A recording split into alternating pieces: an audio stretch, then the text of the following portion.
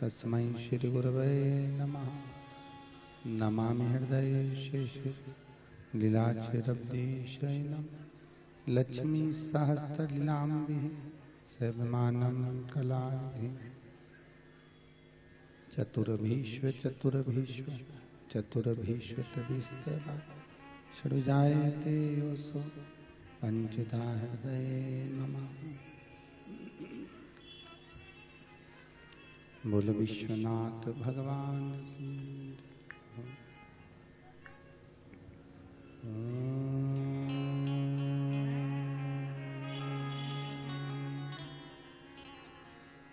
नमः।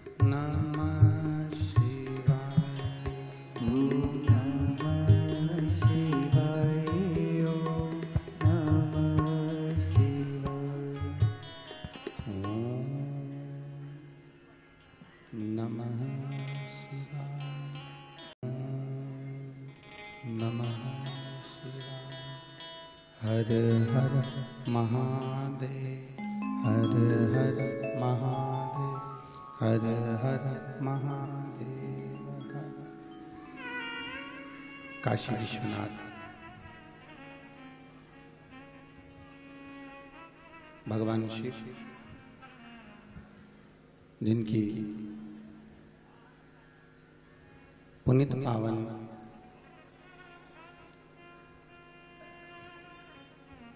शिव महापुराण की कथा। श्रवण करने का सौभाग्य। अपन सभी को बाबा विश्वनाथ की कृपा से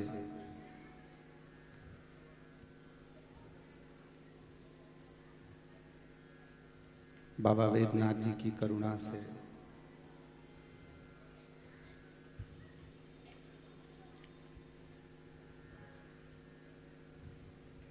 झारखंड क्षेत्र के इस मिर्जापुर, मिर्ज़ा चौकी।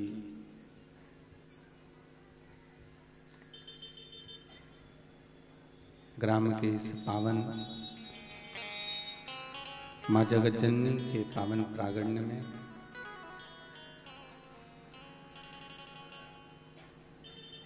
भगवान शिव की ही कृपा से।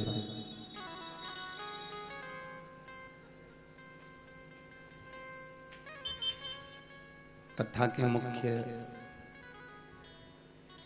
यजमान श्री शंभुनाथ जयसवाल परिवार एवं संपूर्ण जयसवाल परिवार।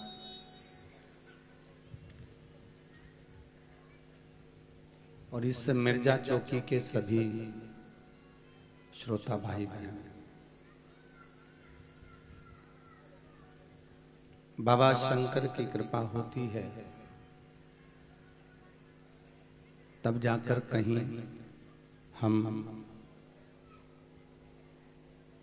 भगवान शिव की पावन कथा श्रवण कर पाते हैं।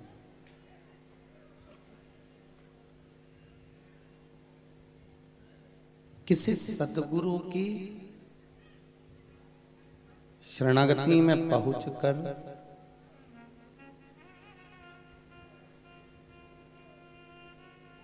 भगवान की मनोहर कथा श्रवण करने का जब सौभाग्य मिलता है,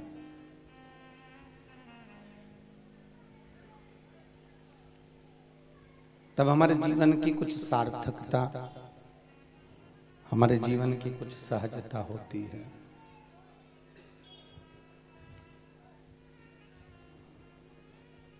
कल कथा में कहा था, एक तो कठिन है मनुष्य की देह।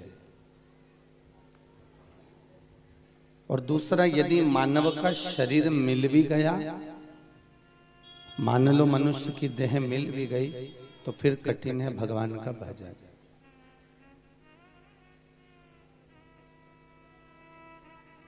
यदि शरीर मिल भी गया तो भगवान का भजन होना कठिन।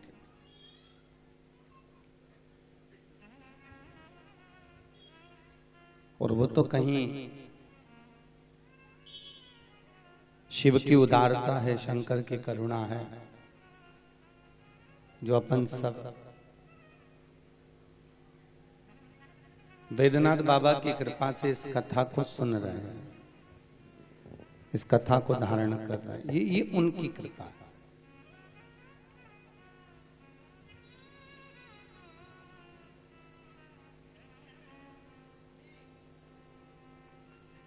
शरीर मिल गया, कोई पुण्य करा, कोई सत्कर्म करा, कोई भजन करा, कोई कीर्तन करा, कोई अच्छा काम करा तो ये मनुष्य का शरीर मिला।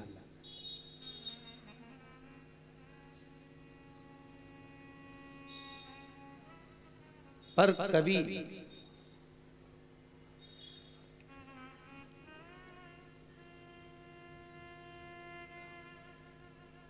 चौरासी लाख योनिया जो हमने को मिली थी, उस योनियों में कभी हमने यदि कोई सत्कर्म करा होगा,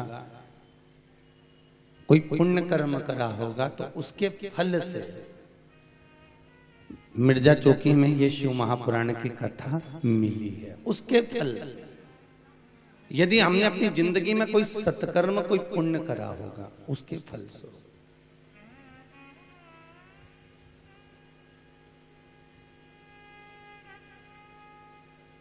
गुरु कितने होते हैं? एक। पर शिव महापुराण की कथा कहती है गुरु होते हैं चार। कितने गुरु? जम के बोलो। चार। प्रथम गुरु है माँ।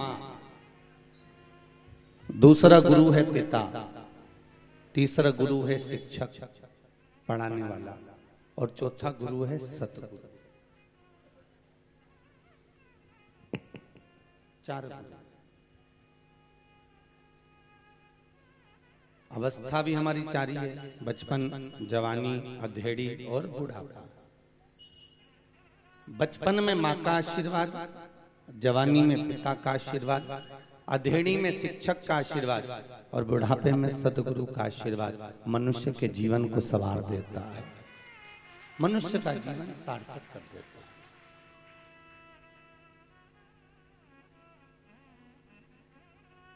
और शास्त्र कहता है कि बचपन गया, जाने दो जवानी गई, जाने दो अधेड़ी गई, जाने दो, पर बुढ़ापा मत बिगड़ने देना।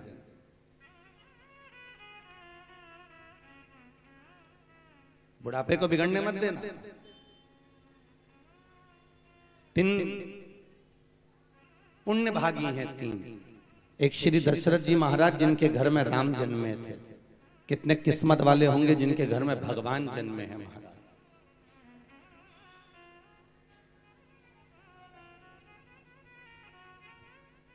और दूसरे नंबर पर किस्मत वाले हैं श्री भीष्म पितामह जिन्होंने भगवान कृष्ण का बचपन से लेकर जवानी तक का दर्शन किया। कितने किस्मत वाले होंगे? कितने पुण्यशाली होंगे? और तीसरे नंबर के किस्मत वाले हैं गिद्धराज जटायु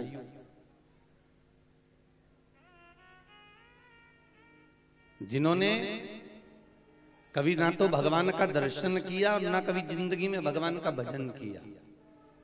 पर जब प्राणों को त्यागा तो राम जी की गोद में त्यागा। जब उन्होंने प्राणों को छोड़ा तो भगवान की गोद में छोड़ा। शिव महापुराण की कथा कहती है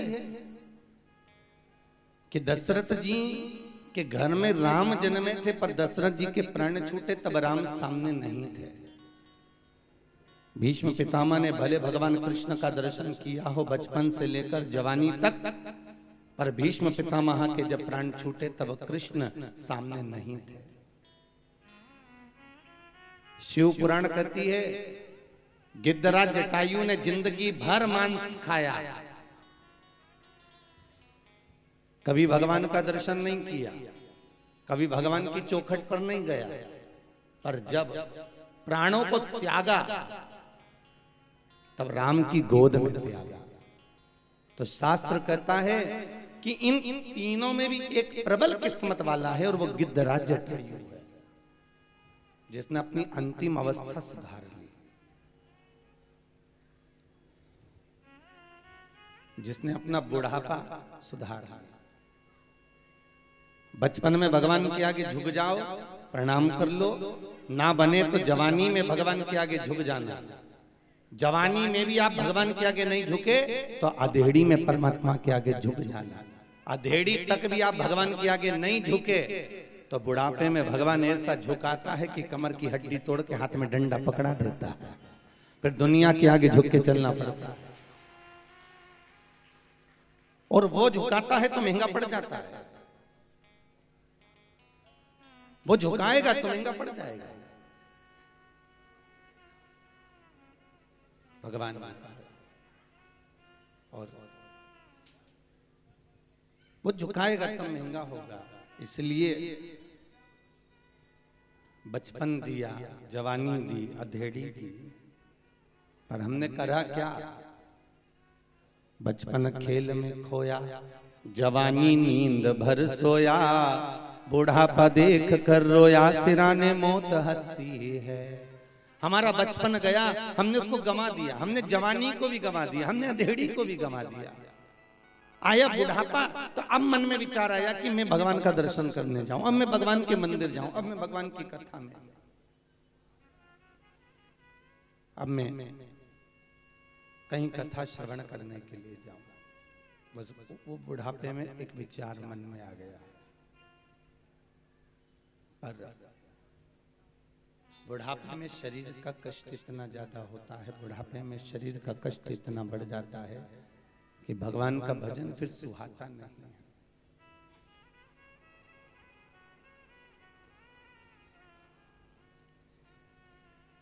गुरु चार होते हैं। पहले नंबर का गुरु है माँ।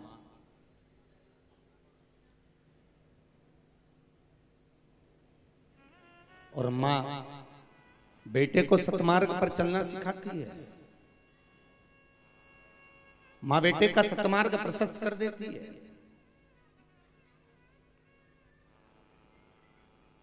माँ बेटे की ज़िंदगी बना देती है।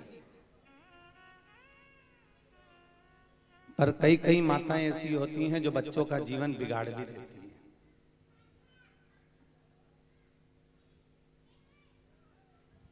यदि बच्चा मदिरा पी रहा है यदि बेटा मदिरा का पान कर रहा है वेश्यावृत्ति कर रहा है जुआ खेल रहा है गलत काम कर रहा है तंबाकू खा रहा है कुछ भी गलत कर रहा है तो उसमें माता का हाथ है जिस दिन वो पहली बार गलत काम करके आया था माँ उसके गाल पर एक थप्पड़ देती सारे कपड़े उतरवा कर नग्न अवस्था में जब घर से भगा देती तो ज़िंदगी में बच्चा कभी गलत काम नहीं करता। पर बच्चा जब पहली बार गलत काम करके आया तो माँ ने उसके मुँह पे चादर डाल के सुला दिया तेरा बाप देख लेगा, सो जा चुपचाप। माँ ने उसके ऊपर चादर डाल दी, माँ ने उसके ऊपर पर्दा डाल दिया, माँ ने उसके ऊपर गादी डाल दी, उसके ऊपर रजाई डाल दी।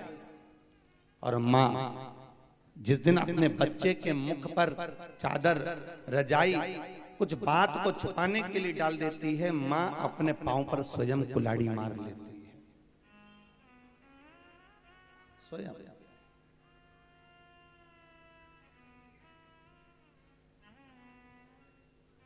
बेटे को सत्य बोलना माँ सिखाती है।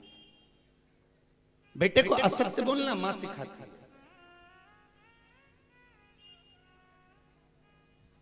एक कहानी आपने सुनी होगी। छोटी अवस्था में बचपन में हमने भी बहुत सुनी। एक छोटा सा बच्चा एक पेंसिल चुरा कर लाया। मम्मी को आकर कहा माँ माँ देखो मैं क्या लेकर आया हूँ। माँ कुछ बोली नहीं। फिर वो छोटा सा बच्चा एक कॉपी चुरा कर लाया। माँ देखो हम क्या लेकर आए। माँ कुछ बोली नहीं। फिर वो छोटा सा बच्चा एक दिन एक बैग चुरा कर लेकर आया। माँ कुछ बोली। कुछ भी नहीं बोली।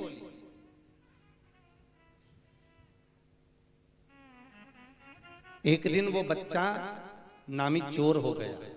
खूब चोरी करने लगा। पकड़ा गया। पुलिस वाले ने ले जाकर उसको थाने में बंद करा। अब पुलिस वालों ने जब थाने में बंद करा तो उसको फांसी दी गई मृत्यु दंड दिया गया। सजा दी गई। उससे पूछा गया तुम्हें कल फांसी पर चढ़ाया जाएगा? तुम्हारी अंतिम इच्छा क्या है? उसने कहा मेरी अंतिम इच्छा केवल इतनी है कि मैं मेरी माता के कानों में कुछ कहना चाहता सुनिए ना कथा कहानी। मैं मेरी माता के कानों में कुछ कहना चाहता हूँ।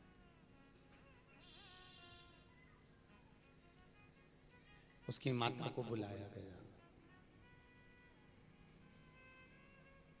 और उसके पास में खड़ा किया गया। उसने अपनी माता के कानों में कहते समय कानों को दांतों से दबा लिया।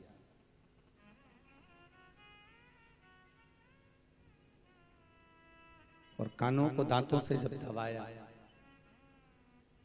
तो रक्त निकलने लगा। खून निकलने लगा। पुलिस वालों ने छुड़ाया ये तेरी माँ है। वो बेटा कहता है आज फांसी पर चढ़ाने वाली भी ये मेरी माँ है। जिस दिन पहली बार चोरी कर कर आया था उसी दिन मेरी माँ मेरे गाल पर थप्पड़ मारती तो मेरी हिम्मत नहीं होती कि मैं दूसरी बार चोरी करता। पर मेरी माँ ने आज मुझे फांसी की सजा पर दिलवा दिया। माँ चाहे तो बच्चे को स्वामी विवेकानंद बना सकती है। माँ चाहे तो बच्चे को रामकृष्ण परमहंस बना सकती है।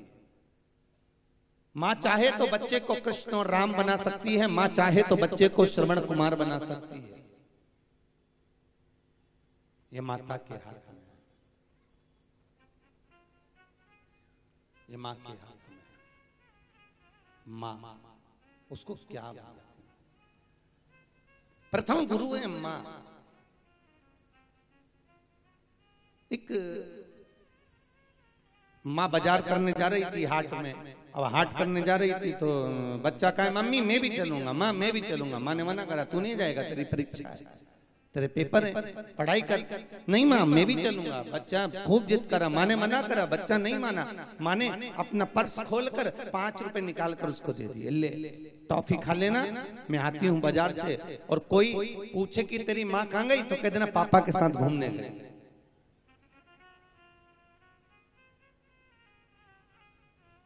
आज पिताजी जल्दी घर आ गए। पापा ही घर पे आ गए। और दरवाज़ा बजाकर पूछा क्यों तेरी माँ कहाँ गई? तो क्या वो तो पापा के साथ घूमने गई। माँ ने एक बाप ने एक थप्पड़ दिया पापा ने। तेरा पिता यहाँ खड़ा है तो कौन से बाप के साथ घूमने चली पिता एक थप्पड़। क्यों? क्योंकि बच्चे को झूठ बोलना माँ सिखाती है। बच्चे को सत्य बोलना माँ सिखाती है। बेटा यदि सत्य मार्ग पर चल रहा है तो वो माँ की देन है।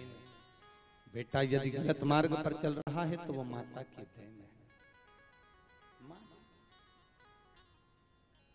आप भी माँ हो। और फिर निवेदन करूँगा, बच्चों को कार मत दिलाओ। बेटों को कार दिलाओगे तो बेटे बेच कर खजाएँगे। अगर बेटों को दिलाओगे संस्कार तो बेटों कार की लाइन लगा देंगे यदि संस्कार होंगे तो कार शोभा देगी। अगर संस्कार नहीं होंगे तो वो कार कभी शोभा नहीं देगी।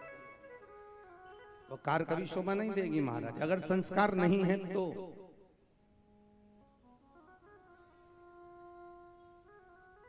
पहले बच्चों को संस्कार आप में से कितनी माताएँ जिनके बच्चे रोज प्रणाम करते हैं? पाँव छूते हैं, हाथ उठाइए। बिल्कुल सही सही उठाना हो। एक दो तीन चार पाँच छ सात आठ। सही में पाँव छूते हैं।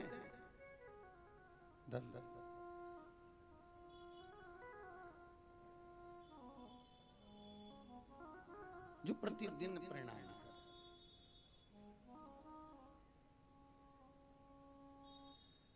और नहीं तो एक आज के बच्चे। माँ रोज उनको प्रणाम करती है। अरे तेरे हाथ जोड़ू उठ जा। टाइम हो गया उठ जा स्कूल का टाइम हो गया जल्दी जा। माँ उसके हाथ जोड़ती है। अरे उठ जा उठ जा परंतु फिर भी बच्चा नहीं उठता बड़ी फिर भी बच्चा नहीं उठ पाता उठ जा उठ जा बार बार निवेदन किया जाता तो भी नहीं उठ पाता। तो भी नहीं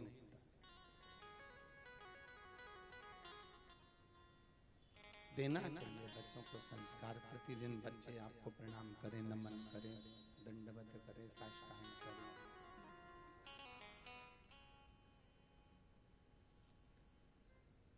प्रातः काल उठ के रघुनाथा माता पिता गुरु नावई माता। प्रातः के समय पर भगवान भी उठकर अपने माता पिता और गुरु को प्रणाम करते हैं। आपको भी चाहिए कि प्रतिदिन उठकर बड़ों का आदर करें सम्मान करें सत्कार करें। और बच्चों को यह ज्ञान दीजिए कि रोज प्रणाम करें नमन करें। बाँस बांबू ये बाँस जब तक गीला है इसको कितना भी नबाओगे वो नब जाएगा। बाँस अगर सूख गया तो फिर नबाओगे तो नबने वाला नहीं है। फिर नहीं लगेगा। उसको नबाने का प्रयास करिए उसको झुकाने का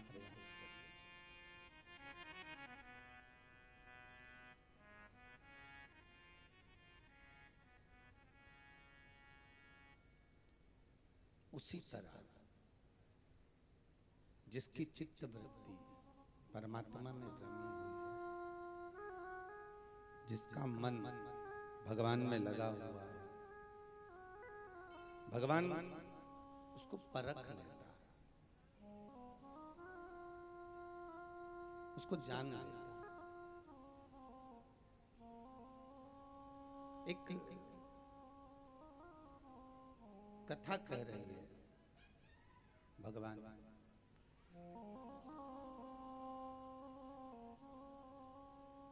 आज ब्रह्मा जी भगवान विष्णु के पास पहुँचे।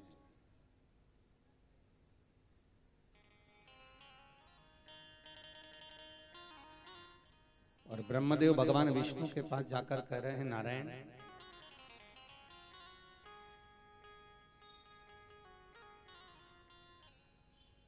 मुझे। ये पता है कि आप मेरे पिता हैं। भगवान ब्रह्मा का, का कोई बाप है भगवान ब्रह्मा के अगर कोई पिता है तो भगवान विष्णु है। क्योंकि भगवान विष्णु की नाभि से कमल के पुष्प के ऊपर ब्रह्मा प्रकट हुए।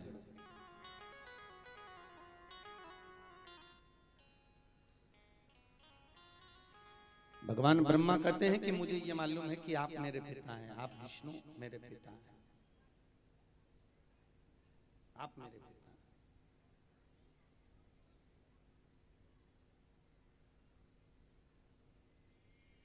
और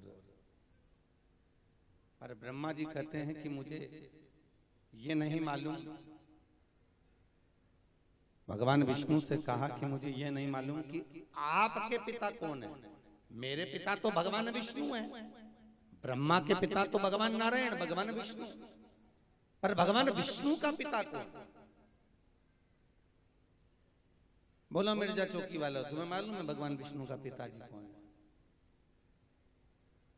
भगवान विष्णु का पिता है कौन?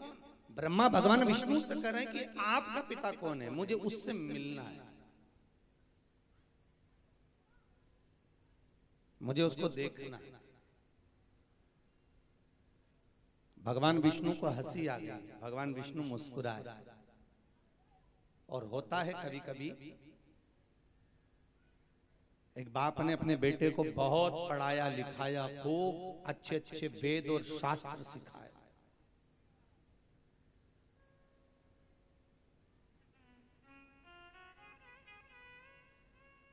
बेटा बहुत विद्वान हो गया बहुत विद्वान।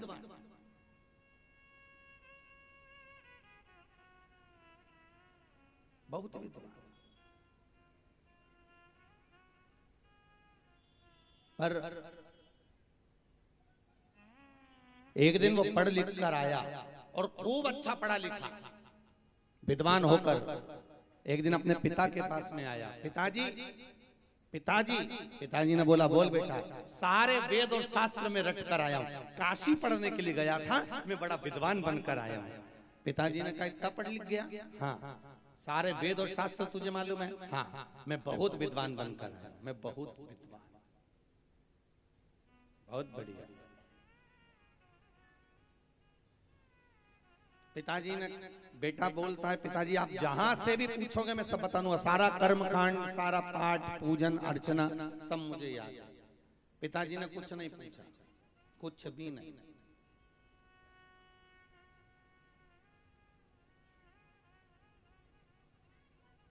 पिताजी ने केवल इतना सा पूछा, बेटा मैं तुझसे इतना सा पूछना चाहता हूँ कि पाप के बाप का नाम क्या है वो बता दे। अगर तू इतना पढ़ा लिखा है तो पाप का बाप कौन है? पाप का पिता। अब बेटा माथा खुजा ये पाप का बाप कहाँ से आ गया? भाई दूसरा किसी का पिताजी पूछते राम जी के पिताजी पूछते कृष्ण के पिता पूछते। तो मैं बता देता परंतु यहाँ तो पिताजी पूछ रहे कि पाप का बाप कौन है तू बता दे। बेटे को नहीं मालूम एक दिन बेटा कहीं प्रवचन कर रहा था।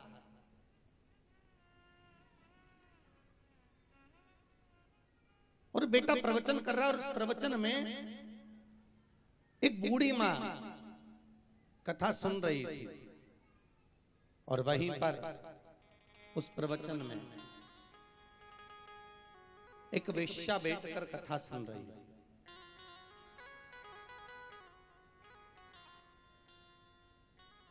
पूरे प्रवचन में एक वेश्या बैठी हुई कथा सुन रही है, प्रवचन सुन रही है। और एक बूढ़ी माता ने उठकर पूछ लिया, महाराज जी, मुझे सबके पिताजी का नाम मालूम है, राम जी के, दशरथ जी के, कृष्ण जी के, पर पाप के बाप का नाम नहीं मालूम।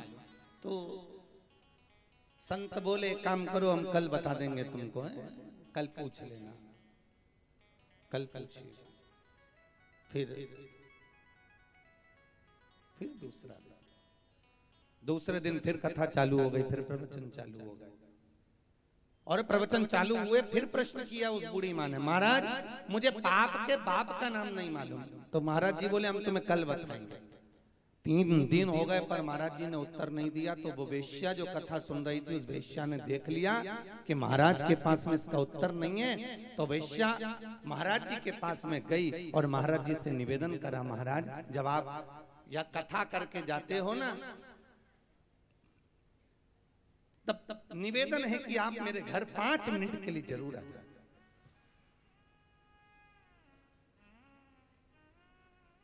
संत बोले वैश्या हम और तेरे घर पर आए ये अच्छी बात है क्या? एक संत एक साधु एक सन्यासी एक तपस्वी एक साधक एक उपासक और वेश्या के घर जाए। ये कहा की रीति हम तुम्हारे यहाँ नहीं आ सकते।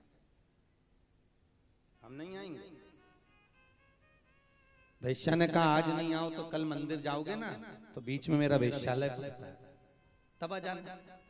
संत ने कहा वेश्या पागल हो गई है क्या हम संत होकर किसी वेश्या के घर नहीं जाते। वेश्या ने कहा महाराज सवेरे जब मंदिर जाओगे तो बीच में मेरा वेश्यालय पड़ेगा मैं इंतज़ार करूँगी आपका।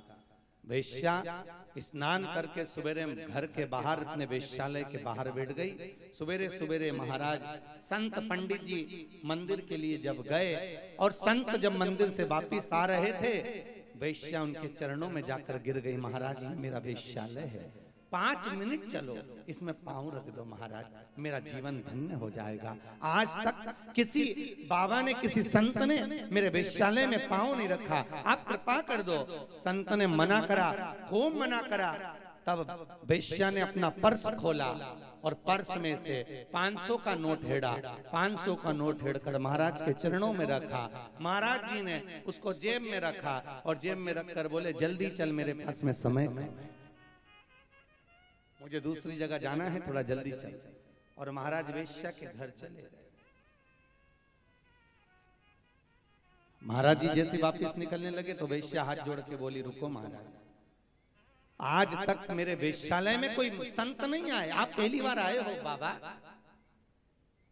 ओ बाबा आप पहली बार आए हो। मेरा मन करता है कि आप मेरे यहाँ भोजन कर कर जाए संत बोले वेश्या तेरे घर में आ गए इससे बढ़कर और क्या चाहिए? और हम संत और तेरे हाथ का भोजन करेंगे। वेश्या कहती है बाबा थोड़ी सी देर बैठ जाओ। अंदर गई, थाली लेकर आई, भोजन की, संत के चरणों में रख दिया, सामने रख दिया, संत उठकर जाने लगे, बाबा उठकर जाने लगे, इतने में वेश्या ने अपना पर्स खोला, दो पाँच सौ के नोट निकाले, बाबा के चरणों में रखे, बाबा ने उठाकर जेब में रखा, जेब में रखते सी बोले, ला जल्दी भोजन की थाली ला, बस जीमू, फिर जाऊँ। खाऊं, फिर जाऊँ। और वो संत रोटी का टुकड़ा तोड़ने लगे। खाने लगे। और संत जब रोटी का टुकड़ा तोड़कर खा रहे हैं तब वेश्या हाथ जोड़कर बोली बाबा रुकिए। बाबा बाबा ओ बाबा। आज तक ज़िंदगी में मैंने किसी संत को किसी गुरु को अपने हाथों से खाना नहीं खिलाया। बाबा मेरा मन कर रहा है कि आज मैं आपको अपने हाथों से भोजन कराऊं। मैं अपने हाथों से खाना खिलाऊं। संत बोले बेशक तेरे हाथ का बना हुआ भोजन करना ही बहुत बड़ी बात है। और तेरे हाथ से भोजन करें, ये नहीं हो सकता। वेश्या ने पर्स खोला, चार पाँच सौ के नोट निकाले। महाराज के चरणों में रखे, महाराज जी ने मुँह खोल लिया। वैश्या ने रोटी का टुकड़ा तोड़ा, सब्ज़ी में लगाया, महाराज के मुँह में दिया, फिर टुकड़ा तोड़ा, फिर सब्ज़ी में लगाया, फिर महाराज के मुँह में दिया। तीसरा टुकड़ा वैश्या ने तोड़ा, महाराज के मुँह में देने वाली थी टुकड़े को थाली में रखा और एक थप्पड़ महाराज के गाल पर दिया। और एक थप्पड़ जैसे वेश्या ने महाराज के गाल पर दिया। देते ही महाराज जी बोले क्या करा तूने? मेरे गाल पर थप्पड़ मार दिया। वैश्या कहती है महाराज थप्पड़ नहीं मारा। रोज एक बूढ़ी माता आपसे प्रश्न करती थी कि पाप के बाप का नाम क्या है? मैं उत्तर दे रही हूँ कि पाप के बाप का नाम लोभ है। पाप के बाप का नाम लोभ है। इस लोभ के चक्कर में लालच के चक्कर में धन के चक्कर में मैं जैसा जैसा बोलती आप कर बैठते और कर बैठने के चक्कर में तुम पाप कर जाते उस पाप से बचना है। तो लोभ थोड़ा कम करना होगा। लोभ थोड़ा संभालना पड़ेगा लोभ थोड़ा खींचना पड़ेगा तब जाकर उस पाप से हम बाहर।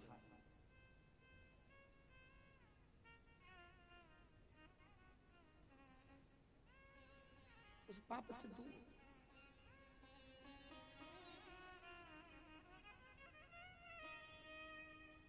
इसलिए शास्त्र कहा, ये मनुष्य का शरीर अगर मिला है तो कुछ अच्छा करने के लिए मिला। ये मानव का शरीर अगर मिला है तो कुछ अच्छा करने के लिए मिला है।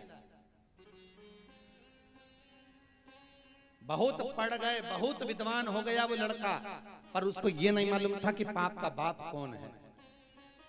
जब गाल पर थप्पड़ पड़ा लोभ लालच में जब वो पड़ा तब उसका अनुमोदन उसे समझ में आया कि हम कुछ पाप कर रहे हैं। हम कुछ पाप में लिप्त हैं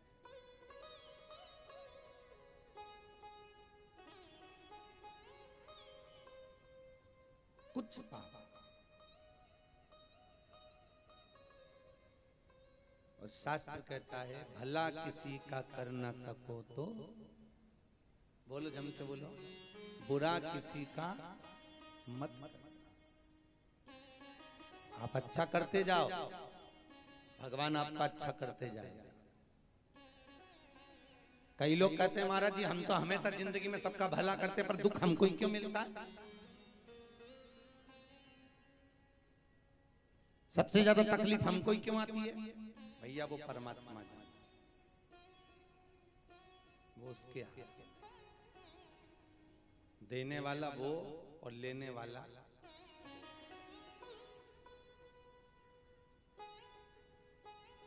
दो तरह के लोग होते हैं गरीबड़ा।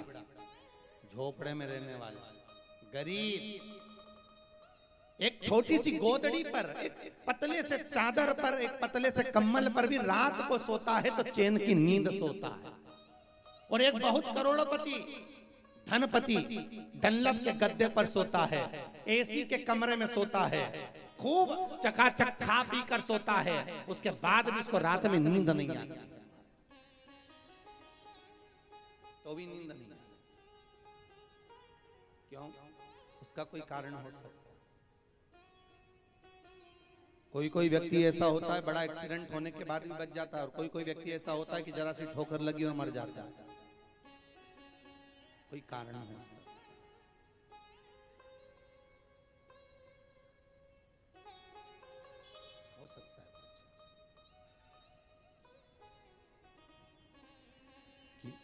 झोली में फूल भरे हैं। एक झोली में कांटे। और तेरे बस में कुछ भी नहीं, वो बांटने वाला बाटे।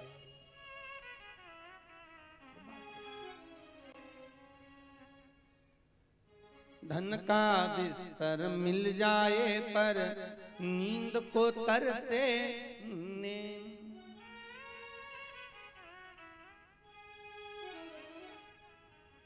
और कांटों पर भी सोकर आए किसी के मन को चैन।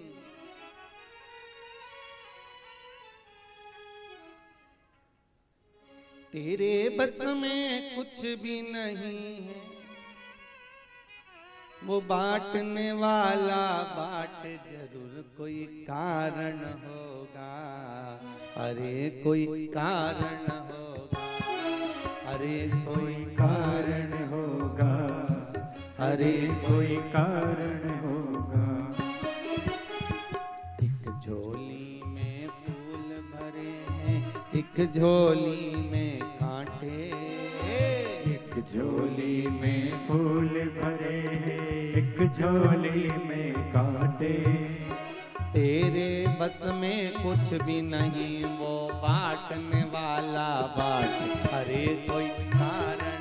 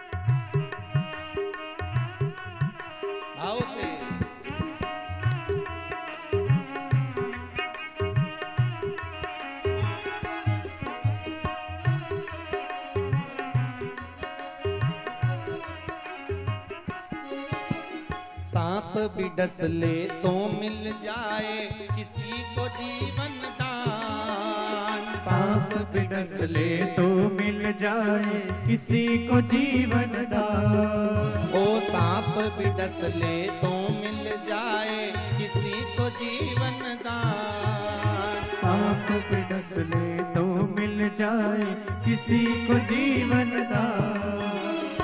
एक चीटी के काटे से एक चीटी के काटे से। हाँ एक चीटी के काटे से एक चीटी के काटे से।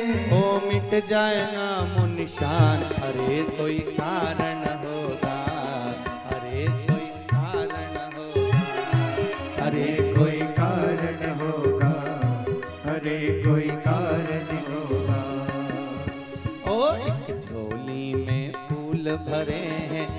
झोली में कांटे। एक झोली में फूल भरे एक झोली में कांटे। ओ तेरे बस में कुछ भी नहीं वो बांटने वाला बाट। करे कोई कारण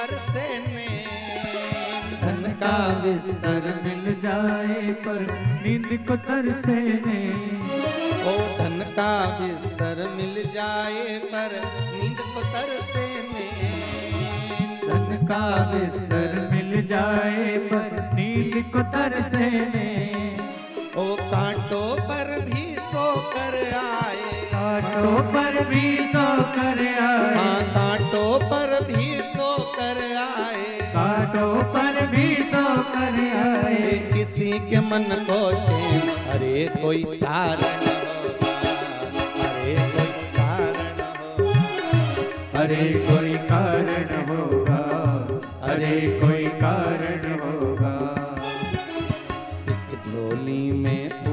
भरे हैं एक झोली में कांटे। ओ एक झोली में फूल भरे हैं एक झोली में कांटे। ओ तेरे बस में कुछ भी नहीं वो बांटने वाला अरे कोई कारण होगा अरे कोई कारण होगा। अरे कोई कारण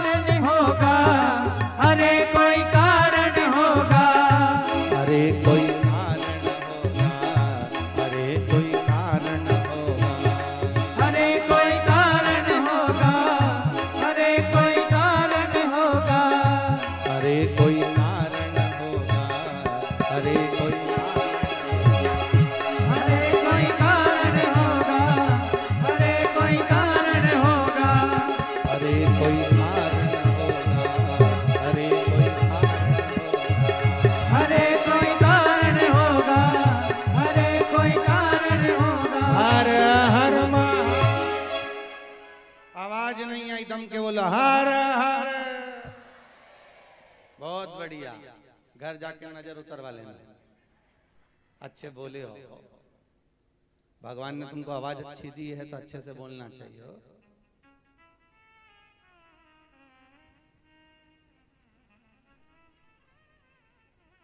किसी कारण से हमें सुख और दुख का भान होता है। मेरा निवेदन है ये वाला दरवाज़ा बंद कर दो।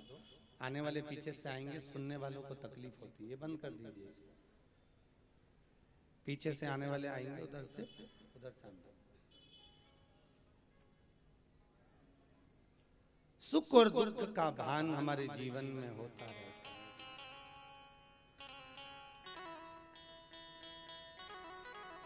और मनुष्य की देह है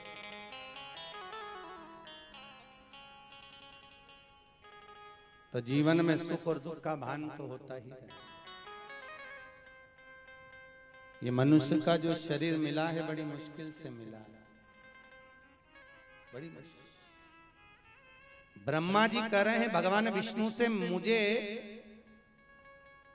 आपके पिता का नाम मालूम करना है कि आपका पिता कौन है, आपका बाप कौन है, आपका पिता कौन है।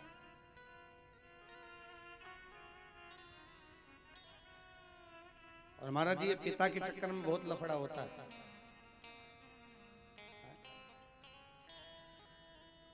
पिता के चक्कर में बहुत लफड़ा होता है। एक बार कर्माबाई की कथा आपने सुनी होगी। सुनी कि नहीं सुनी कर्मा बाई की? कर्माबाई छोटी सी। लहंगा पहनी चोली पहनी और चूनर पहनी। छोटी सी कर्मा और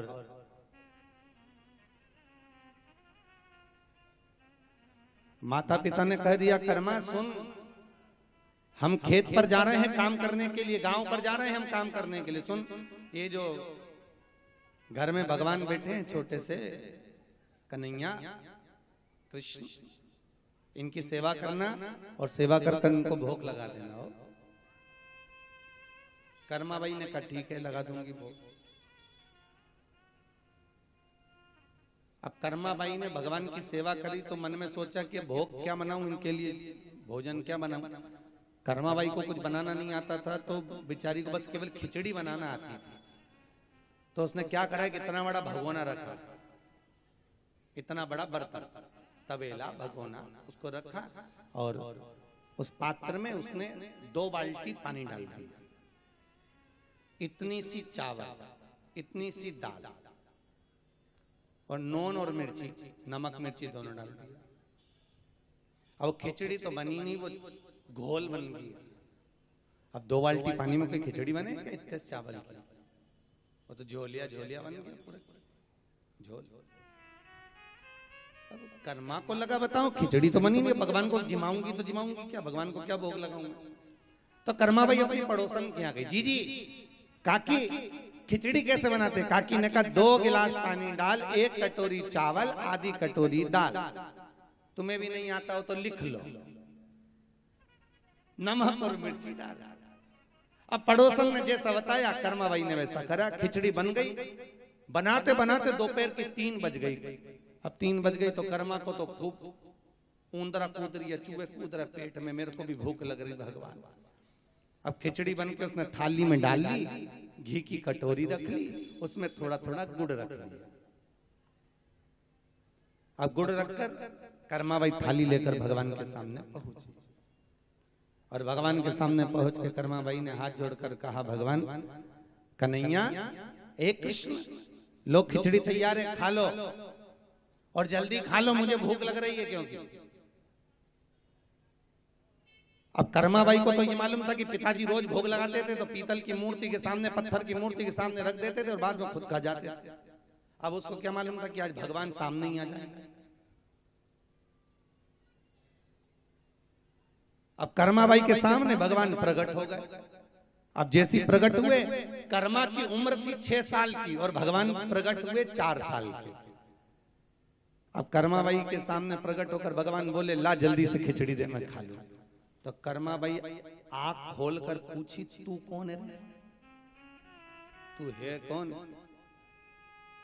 तो भगवान कहते हैं, कर्मा, तूने तो हाथ जोड़ के मुझे बुलाया था। तूने तो कहा था, ठाकुर आओ और भोग लगाओ।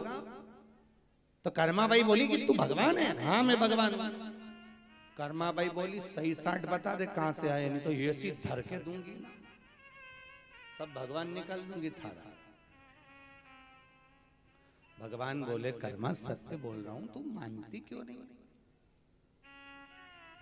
कर्मा बाई ने कहा मैं तुझसे दो प्रश्न करूँगी। अगर तूने दोनों प्रश्न का उत्तर सही दिया तो मैं तुझे खिचड़ी खाने दूँगी नहीं तो मार के भगा दूँगी यहाँ से। भगवान को लगा मेरे जैसे अंतर्यामी से ये प्रश्न करेगी। पूछ क्या पूछती? पूछ। पूछ। क्या क्या तो कर्मा भाई पूछ रही बता। तेरे पिताजी का नाम क्या है? बोल। भगवान बोले कर्मा तुझे इतना सा नहीं मालूम कर्मा बोली मैं तो सब मालूम। तू तो ये बता कि तेरे पिताजी का नाम क्या है? बोल। भगवान बोले मेरे पिताजी वसुदेव। कर्मा बाई बोली अब तो उठ के खड़ा हो जा। बिल्कुल बाहर निकल जा। तुझे इतना ही नहीं मालूम कि भगवान कृष्ण के पिता तो नंद बाबा हैं। भगवान कृष्ण माथा ठोक के बोले, बताओ कहा दो बाप के चक्कर में पड़ा?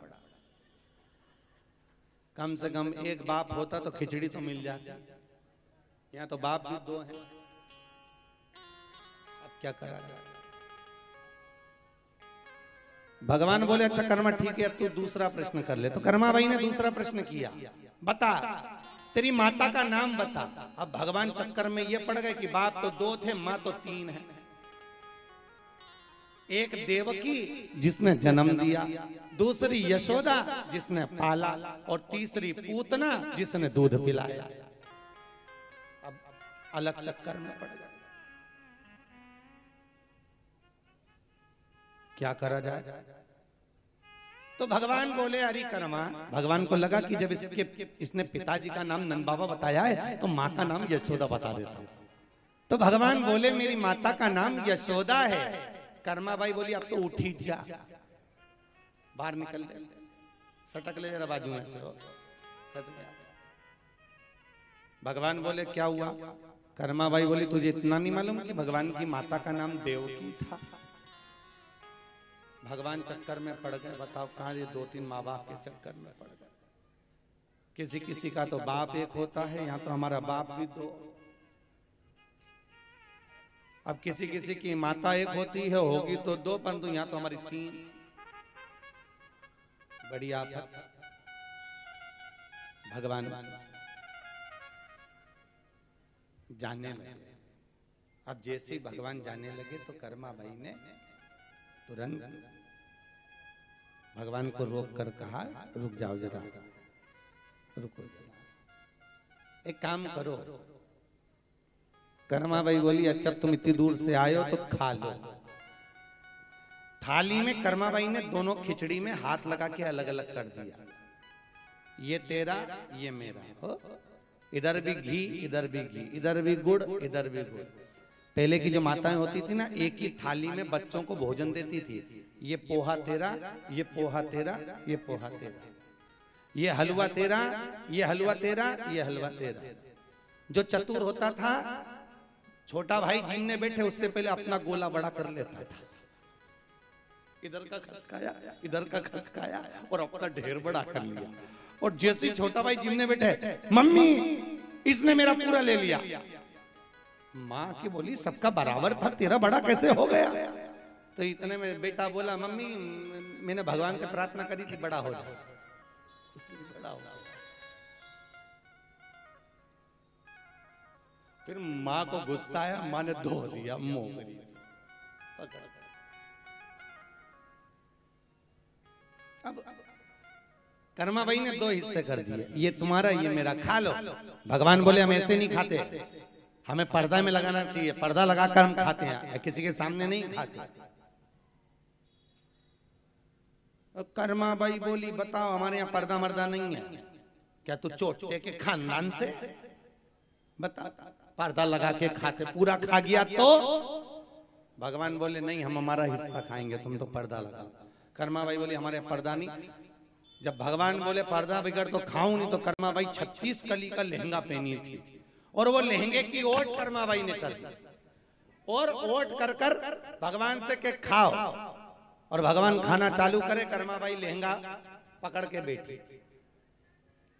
अब कर्मा भाई जैसे ही लहंगा पकड़ के बैठी तो कर्मा भाई को लगा कहीं पूरा नहीं खा जा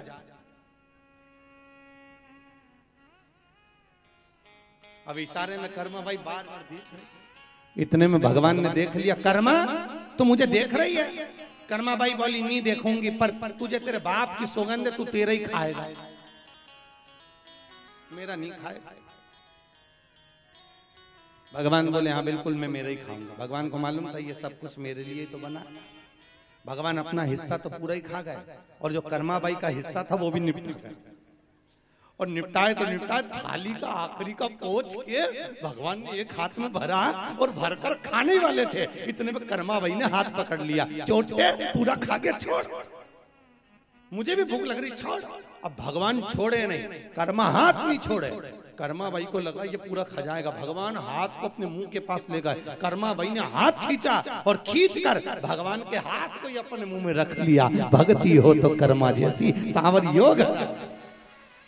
ऐसी भक्ति कर्मा की थी कि भगवान के हाथ से कर्मा भोजन कर रहे।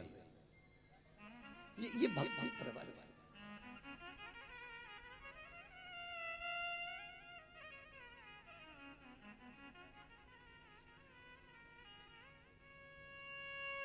ये ये भक्ति प्रखर है। अब अब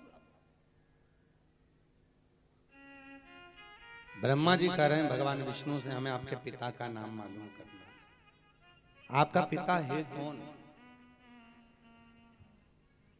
पिता को जानना बहुत कठिन है। और एक बात ज़िंदगी में उतार कर रखिएगा अपने माता पिता को पहचानना बहुत कठिन है साहब। बहुत कठिन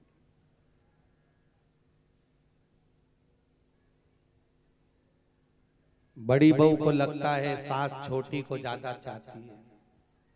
छोटी बहू को लगता है सास बड़ी बहू को ज़्यादा चाहती है। मंजली को लगता है कि सास संजली को ज़्यादा चाहती है। और बेचारी सास मंदिर के घंटे की तरह बीच में लटकी रहती है। और मेरा सासुओं से निवेदन है ज़िंदगी में कभी मत बोलना कि मुझे बड़ी बहू अच्छी लगे कि छोटी अच्छी लगे। क्यों? क्योंकि गेंद किसी भी पाले में जा सकती है। किसी भी बहू से पाला पड़ सकता है। कभी मत बोलो कि बड़ी अच्छी की छोटी अच्छी। अपने लिए तो सब बढ़िया। जिसके यहाँ जाओ उसके यहाँ चकाचक खा पी के। सांसों से निवेदन कभी भूल से मत कहो कि बड़ी अच्छी की छोटी अच्छी। अपने लिए सब बढ़िया सब अच्छी। सब आनंद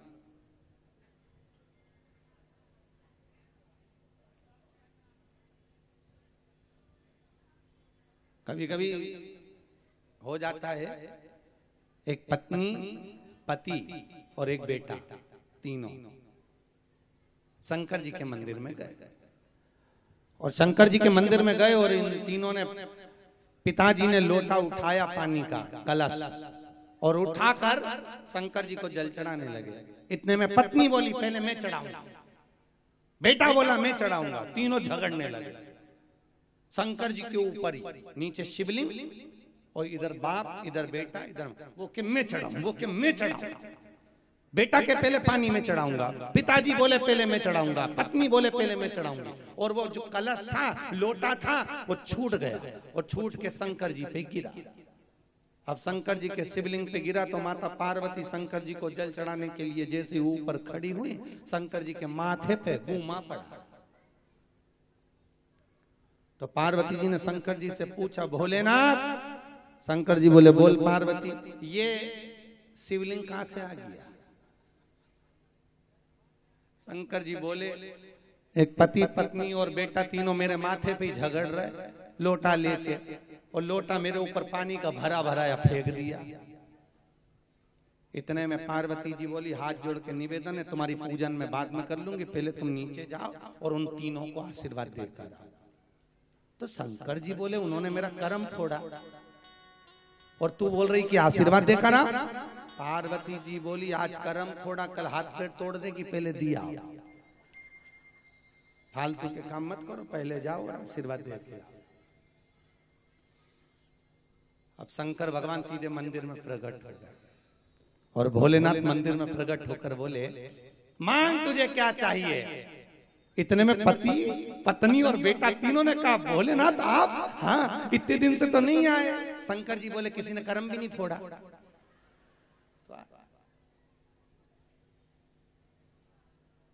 मांग तुझे क्या चाहिए? पति बोला पहले मैं मांगूँगा। शंकर भगवान बोले तीनों जनी एक एक वर मांग लो। एक बार पत्नी मांग ले एक बार पति मांग ले एक बेटा मांग ले। मांगो तीनों। तो पति बोला पहले मैं मांगूँगा पत्नी बोली पहले मैं मांगूँगा बेटा बोला पहले मैं मांगूँगा। तीनों झगड़ा करे। तो शंकर भगवान ने बोला लेडीज़ फ़र्स्ट पहले पत्नी मांगेगी। मांग तुझे क्या चाहिए? पत्नी बोली अब क्या मांगू? अब क्या मांगू? तो पत्नी ने बड़े प्रेम से भगवान शंकर से कहा मुझे सोलह साल की बना दो।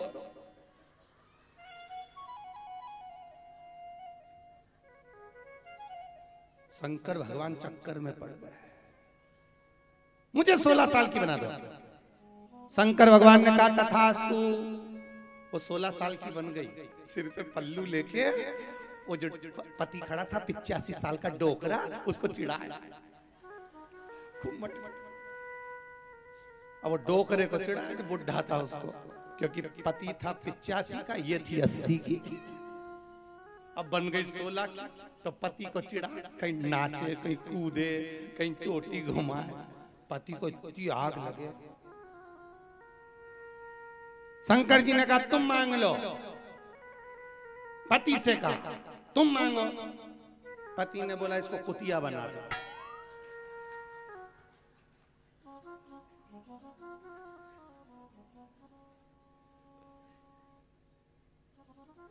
अब वो भो भो करे।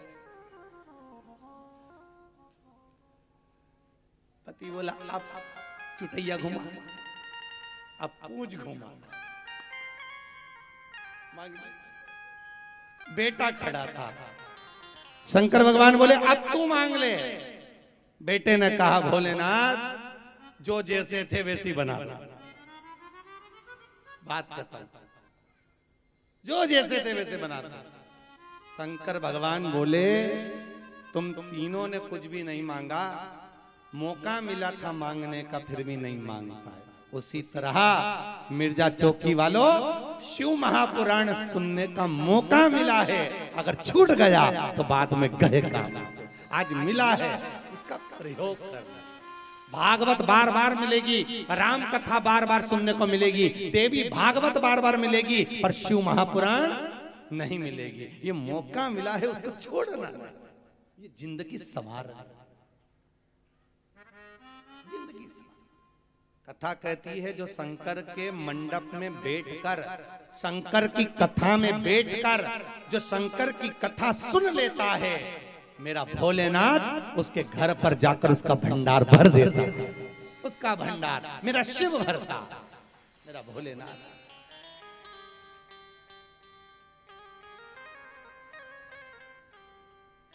भगवान भगवान।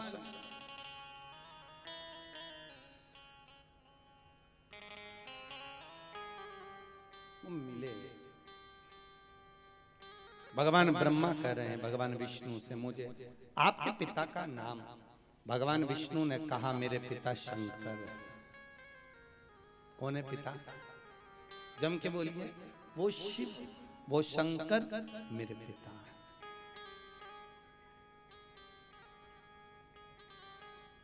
शंकर आपके पिता? हाँ। कहा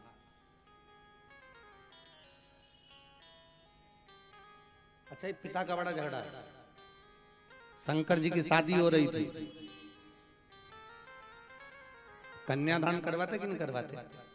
कन्यादान के समय पे जिस लड़के को लड़की दी जाती है, कन्या दी जाती है, उस लड़के के पिताजी का नाम, दादा का नाम, परदादा का नाम गोत्र बोलना पड़ता है। बोलो, बोलते कि नहीं बोलते इधर बुलवाते पंडित जी, कि किस लड़के को लड़की दी जा रही है, उसके पिताजी का नाम? उसके दादाजी का नाम और उसका गोत्र बुलवाया जाता है। तो शंकर भगवान की जब शादी हो रही थी पार्वती जी पास में बैठी थी इतना घूंघट करके। कितना घूंघट? अरे बोलो तो समय इतना। पहले चलता था। इतना। पहले इतना चलता था आज के जमाने में।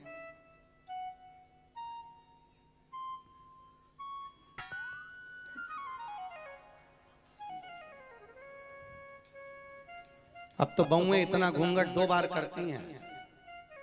एक बार जब शादी होके आती है तब इतना घूंघट करती है क्योंकि मुँह दिखाई में सोने की रकम मिलती है। और बहुएँ इतना घूंघट दूसरी बार जब करती है जब घर में कोई बुढ़ा बुढ़ी मरता। जब कोई डोकरा डोकरी मरे ना बुज़ुर्ग। जब कोई मरे तब बहू इतना घूंघट करती है। क्यों? क्योंकि आँख में एक भी आँसू नहीं आता अंदर से डिज़ाइन में चिल्लाती बस वो।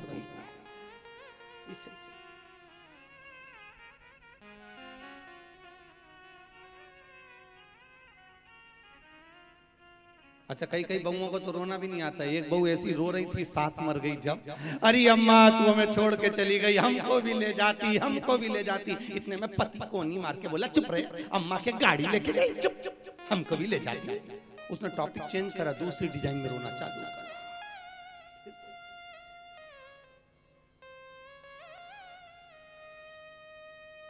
अच्छा कभी कभी बहुत आश्चर्य होता है। जब सास मरती और बहु में रोती ना तो, तो बड़ा देखना तुम बड़ी ऐसा लगेगा भगवान। जब सास ज़िंदा थी तो उसको रुलाती थी। अब सास मर गई तो खुद रो रही।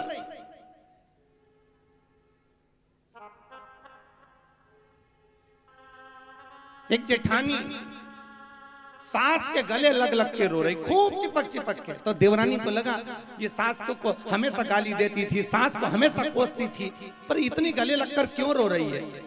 देवरानी को बड़ी दया आई, बेचारी जेठानी मेरी सुधर गई, सास मर गई, इतना रो रही। थोड़ी देर बाद चिपक चिपक के रोती रोती जेठानी ने देवरानी से कहा, मैं पानी पी के आई, अब तू रो ले। और देवरानी जैसे रोने बैठी तो देवरानी को लगा कि जेठानी इतनी चिपक के क्यों रो रही थी? क्योंकि सास के कान में सोने की मुर्गी थी उसको दांत से कतर रही थी। उसको दांत से कतर रही थी। इसलिए चिपक चिपक के रो रही थी। ए तुमसे भी निवेदन है कान में मूर्खी मत पहन के मर जाना। और चिपक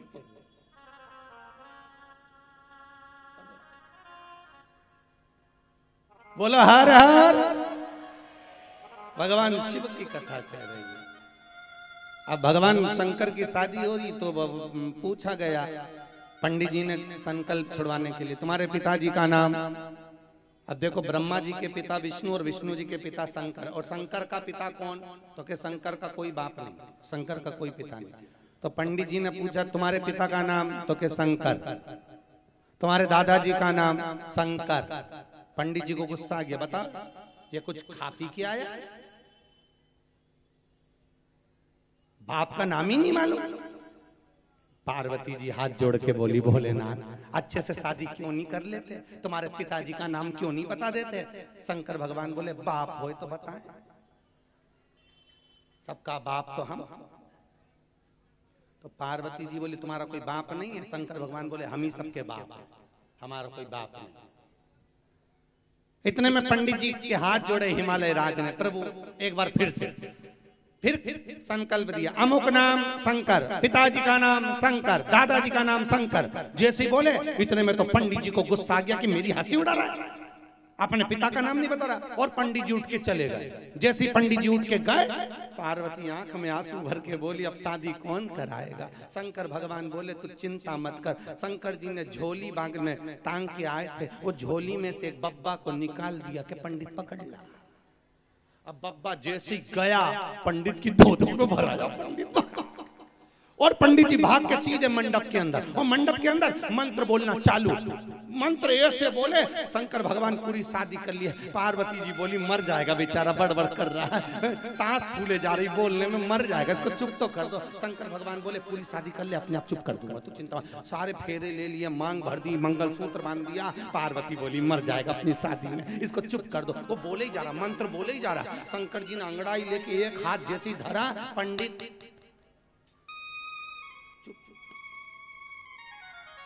हिमालय राज ने आकर पंडित जी से पूछा, आपने मेरी बेटी की शादी कराई है?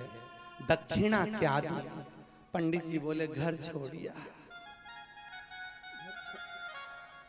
नीची है दक्षिणा।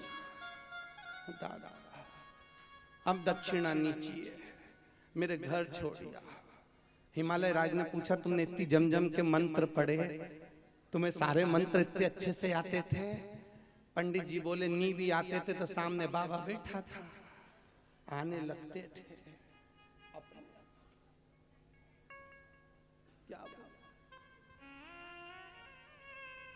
तो भगवान ब्रह्मा, भगवान विष्णु से करें तुम्हारे पिताजी का नाम बता दो कि शंकर। शिव कौन? भगवान ब्रह्मा ने पूछा, शंकर है कौन? तो भगवान विष्णु और भगवान ब्रह्मा, सामने एक बड़ा सा पर्वत था। उस पर्वत को ब्रह्मा और विष्णु ने घुमाना प्रारंभ करा। वो पर्वत घुमा और ब्रह्मा और विष्णु ने जब पर्वत को घुमाया, घुमाते से ही उससे एक लिंगायत आकृति उत्पन्न हो गई। शिवलिंग प्रकट हो गया।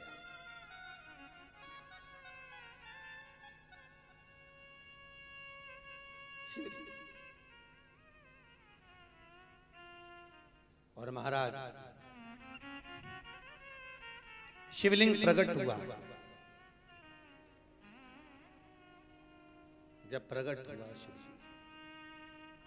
भगवान ब्रह्मा और भगवान विष्णु ने सबसे पहला शिवलिंग प्रकट करा सबसे पहला। भगवान ब्रह्मा और भगवान विष्णु। भगवान शंकर को देखकर भगवान विष्णु ने कहा, ये मेरे पिता हैं। जो शिवलिंग प्रकट किया गया है शिवलिंग का जो स्वरूप है, वो शंकर का ही प्रतिबिंब है। शिव।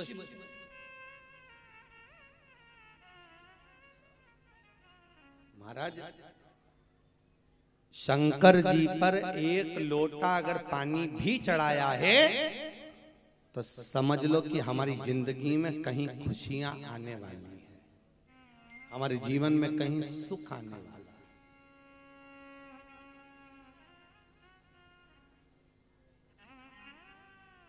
सावन के महीने में लोग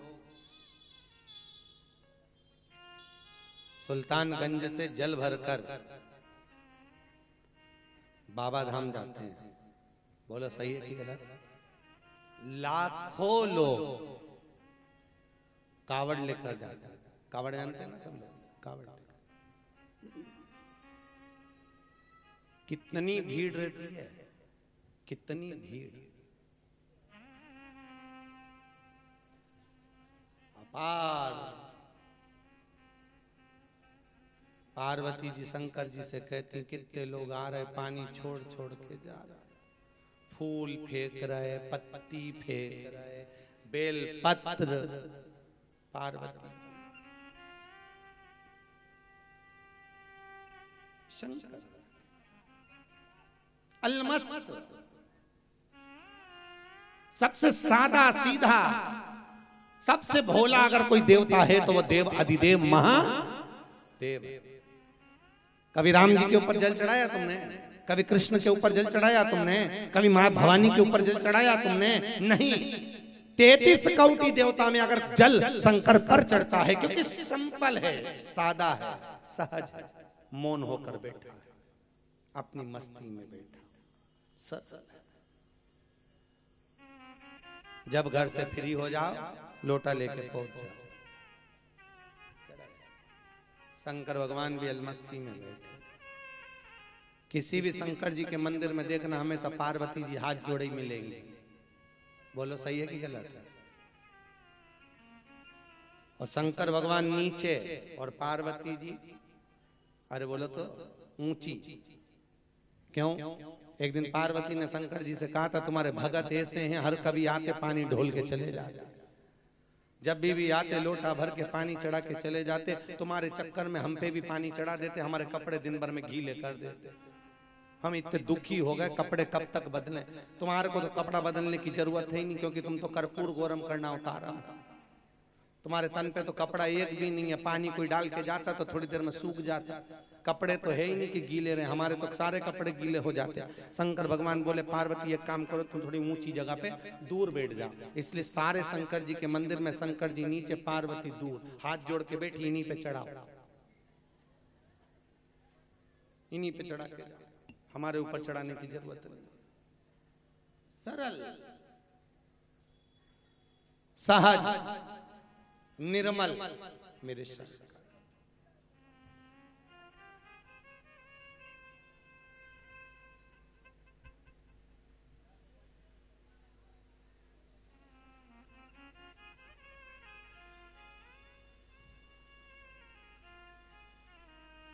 भगवान शिव।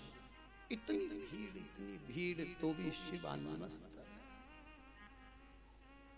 और पूरे मेले में, अगर आप लोग सावन में बाबा धाम गए होंगे, वेदनाथ जी का दर्शन करा होगा, विश्वनाथ गए होंगे तो कितनी भीड़। शंकर को लोग ढूंढते शिव है कहा? दिख ही नहीं रहा। ढूंढ। मेरो खोई गयो भोलानाथ मेला कावड़ में। अरे कावड़ में कावड़ में मेला, कावड़ में। कावड़ में कावड़ में मेला।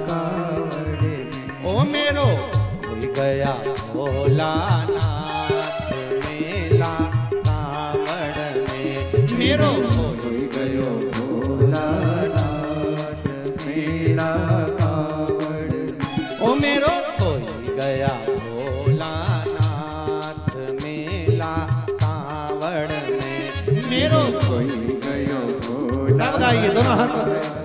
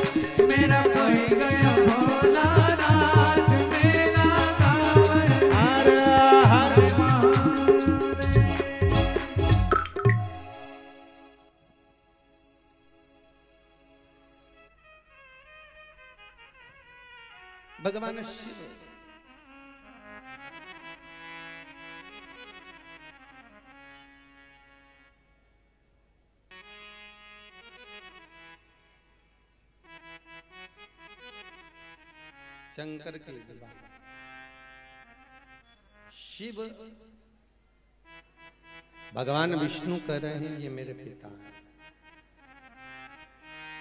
सामने जो शिवलिंग प्रकट हुआ है, शंकर भगवान का जो शिवलिंग सम्मुख है।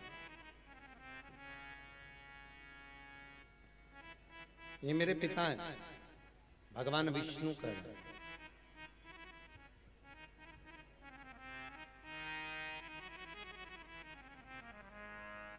त्वमेव माता च पिता सखा सब तुम एक शंकर के अंदर एक शंकर भगवान के शिवलिंग के अंदर तैतीस कौटी देवता समाये एक शंकर।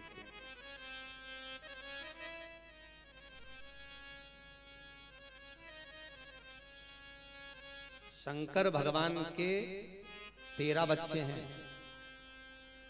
कितने हैं? तेरह। और शंकर भगवान के तेरह बच्चे सब भगवान शंकर के पास में।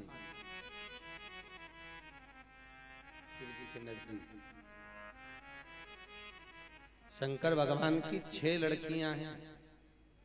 पहली जया, विषहरा। श्यामली बारी दो तली देव और अशोक सुंदरी।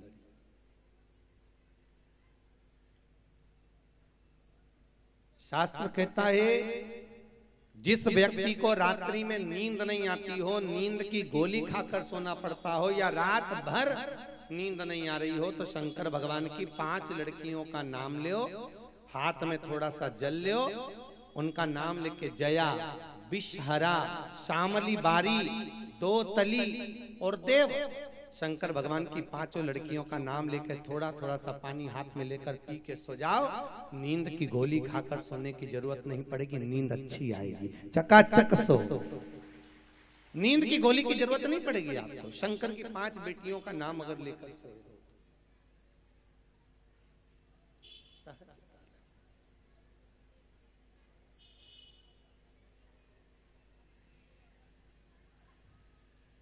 पाँचों पुत्रियों का नाम। लीजिएगा भगवान शंकर की पाँच। का स्मरण। तो शिव महापुराण की कथा कह रही है। भगवान विष्णु कहते हैं कि ये मेरे पिता हैं। जो सामने शिवलिंग नज़र आ रहा है ये मेरे पिता और जब शंकर पर एक बार भरोसा हो गया शिव पर यदि आपने विश्वास कर लिया तो ये पक्का है। शंकर आपको कभी डूबने नहीं देगा, आपको उबार देगा, उन्नति की सीढ़ी पर चढ़ा देगा, धन लक्ष्मी वैभव प्रतिष्ठा देगा। कई लोग पूछते महाराज जी, शंकर भगवान का शिवलिंग घर में रखना चाहिए? हमने कहा, रखना चाहिए। कितना बड़ा होना चाहिए? हमने कहा, हाथ को ज़मीन पर रख कर देखो, बस इससे बड़ा शिवलिंग घर के अंदर नहीं होना चाहिए। कोई भी घर में मूर्ति हो तो इससे बड़ी ना हो घर के अंदर मूर्ति हो ठोस। मूर्ति पोली भी नहीं होना चाहिए।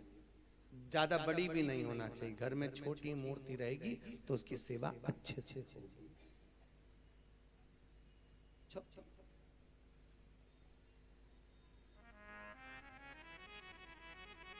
जिसके घर में शंकर भगवान का शिवलिंग होता है उसके घर में कभी काल नहीं आता। उसके घर में कभी बड़ी बीमारी नहीं आती, कैंसर जैसा रोग नहीं आता अटैक नहीं होता, बड़ा एक्सीडेंट नहीं होता, अगर शंकर पर उसने जल चढ़ाया, शिव का अनुमोदन किया है, शिव का स्मरण। घर के अंदर अगर शिवलिंग है, उसका अगर पूजन सही किया है, स्मरण।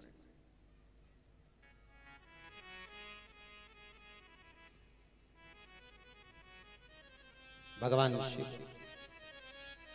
अकाल मृत्यु वो मरे, जो काम करे चंडाल का, काल उसका क्या बिगाड़े, जो भक्त हो महा काल का। शंकर का अनुमोदन करने वाला, शिव का स्मरण करने वाले का बाल भी बाका नहीं होता साहब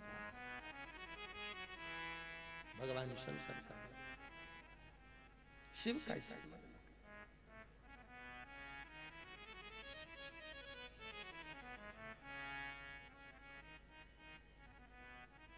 महाराज। भगवान ब्रह्मा ने कहा कि ये शिवलिंग आपका पिता है? हाँ। शंकर आपके पिता है? हाँ। तो ब्रह्मा जी कहते हैं, इस शिवलिंग का चरण कहाँ पर है? और शिवलिंग का सिर कहाँ पर है? आप लोग इतने दिन से शंकर जी के मंदिर गए हो गए। आपके गाँव में भी शंकर जी का मंदिर है। दर्शन करने जाते हो। तो कोई आपसे पूछे कि शंकर जी के शिवलिंग में शंकर भगवान का सिर कहाँ है? चरण कहाँ पर है? तो आप बता पाओगे क्या? नहीं क्यों? क्योंकि शंकर पिता है। शंकर माता है। और माता पिता के हृदय चित्त में मन में क्या चल रहा है? ये दुनिया में कोई नहीं बता सकता। फिर वही बात आ गई बड़ी बहू सोचती है छोटी को ज़्यादा चाहती है सास। छोटी सोचती है कि सास बड़ी को ज़्यादा चाहती है। सास से कोई पूछे कि तुम्हारे लिए बड़ी अच्छी की छोटी अच्छी? तो सास एक ही बात कहेगी मैंने अपने बच्चों को बराबर का दूध पिलाया है इसलिए मेरी औलाद मेरे लिए बराबर है मेरे लिए कोई बड़ा नहीं कोई छोटा नहीं मेरे लिए सब समान कोई बड़ा नहीं है मेरे लिए कोई छोटा नहीं है सब सब और होना भी चाहिए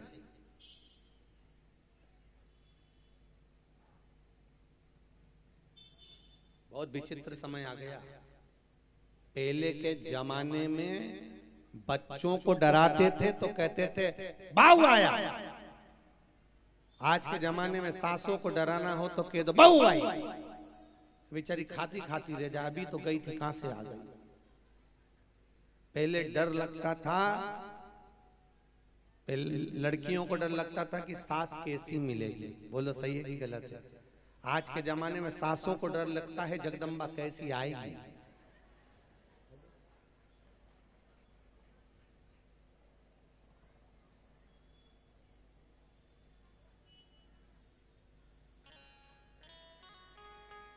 कहीं की ऐसी आ गई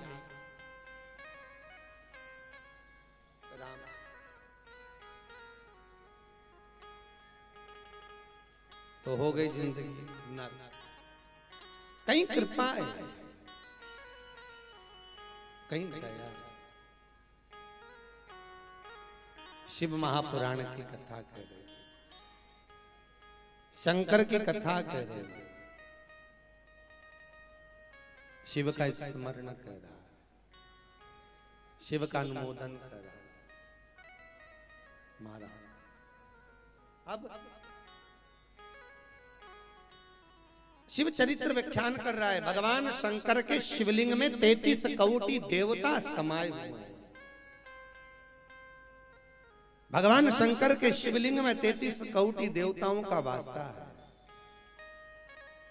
भगवान शंकर के। तो ब्रह्मा जी भगवान विष्णु से कह रहे हैं कि सब इसी में। तो ब्रह्मा जी ने भगवान विष्णु से कहा कि इनका सिर कहा इनका पाँव कहाँ सिर और पाँव है कहाँ शिवलिंग का न सिर का पता होता है शिवलिंग के न चरण का पता होता है। शंकर के शिवलिंग में चरण का और सिर का पता नहीं है। तो ब्रह्मा जी ने भगवान विष्णु से कहा मुझे पता करना है कि भगवान शंकर का सिर कहाँ है? भगवान शंकर के चरण कहाँ हैं? मुझे मालूम कर मुझे पता करना मुझे देखना है।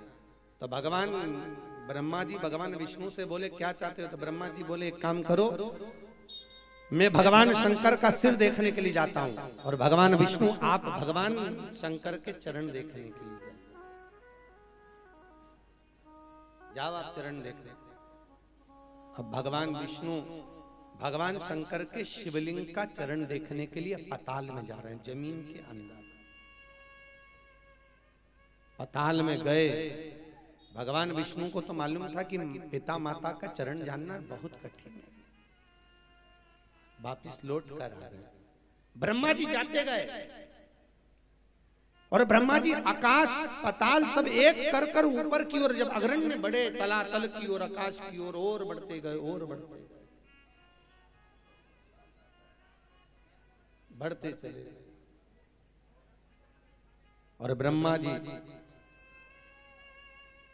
जब आकाश की ओर और, बड़े और बड़े बढ़ते चले।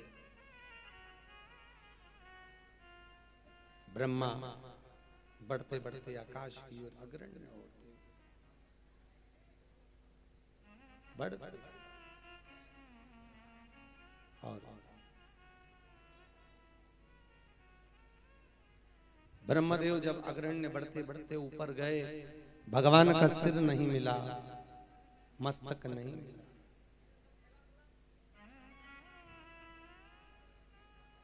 जब मिला ही नहीं, प्राप्त ही नहीं तब ब्रह्मा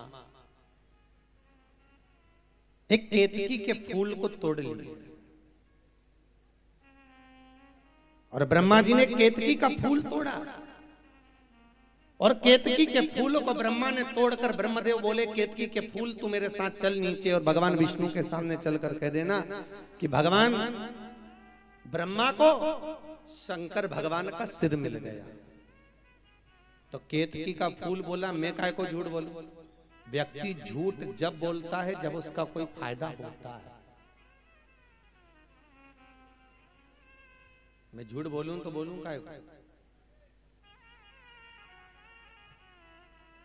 ब्रह्मा जी बोले केतकी के फूल अगर तू भगवान विष्णु के सामने चलकर कह देगा कि ब्रह्मा जी को भगवान शंकर का सिर मिल गया तो मैं तुझे सुगंधित बनाकर रखूँगा सारे देवी देवता पे तुझे चढ़वाऊँगा। केतकी का फूल बोला ठीक है फिर तो मैं झूठ बोल दूँगा। अब केतकी का फूल बोला मेरी बात किसी ने नहीं मानी तो सामने से गौ माता निकल कर जा रही थी। गौ माता को रोक लिया ब्रह्मा जी ने रोक कर कहा गौ माता तुम नीचे चलो। और नीचे चलकर भगवान विष्णु के सामने चलकर कह देना कि भगवान ब्रह्मा को भगवान शंकर का सिर मिल गया। तो गौ माता बोली मैं काय को झूठ बोलू? मैं झूठ क्यों बोलू? किस लिए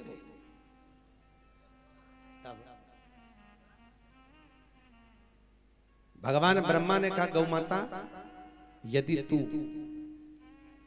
नीचे चलकर यदि झूठ बोल देगी तो सबसे पहली रोटी घर में जो बनेगी, वो तुझे ही मिलेगी। आज भी पहली रोटी किसकी होती है? बोलो, जम के बोलो।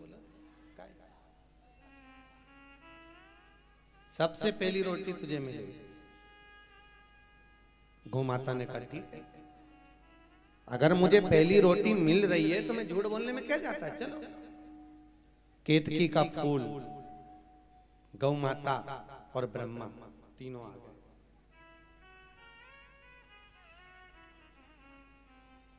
ब्रह्मा जी ने भगवान विष्णु से पूछा नारायण आपको शंकर भगवान का चरण मिल गया? भगवान विष्णु ने मना कर दिया कि मुझे भगवान शिव का चरण नहीं मिला। मुझे भगवान शंकर का चरण नहीं मिला। अब देखो, भगवान विष्णु ने शंकर जी के सामने एक सत्य बोल दिया और सत्य को प्रमाण की ज़रूरत पड़ती ही नहीं। प्रमाण किसको चाहिए? झूठ। असत्य को। सत्य कह दिया और भगवान को जैसे भगवान ने सत्य बोला, भगवान विष्णु ने, भगवान शंकर ने कहा, नारायण, आपने सत्य कहा है, इसलिए पृथ्वी पर आप सत्य नारायण के नाम से पूजे जाएँगे। यहाँ पर भी लोग सत्यनारायण जी की कथा करवाते होंगे। सत्य नारायण के नाम से। एक सत्य बोला, इसलिए उनका नाम सत्य नारायण हो गया। और ब्रह्मा जी भगवान विष्णु ने ब्रह्मदेव से पूछा, ब्रह्मा जी, क्या भगवान शंकर का सिर आपको मिला? ब्रह्मा जी बोले हाँ मुझे भगवान शंकर के शिवलिंग का सिर मिला।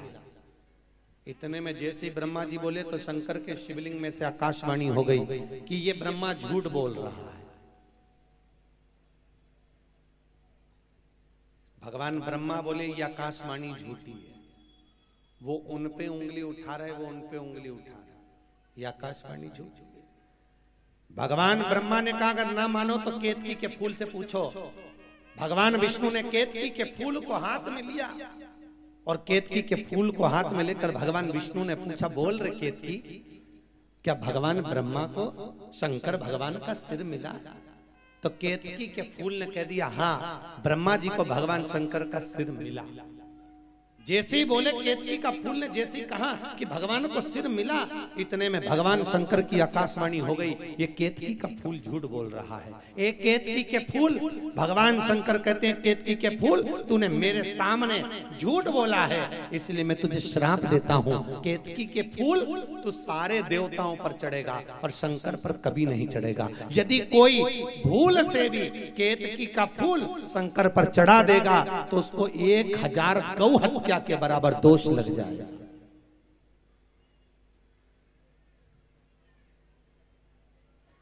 कौन सा फूल? जम के बोलिए।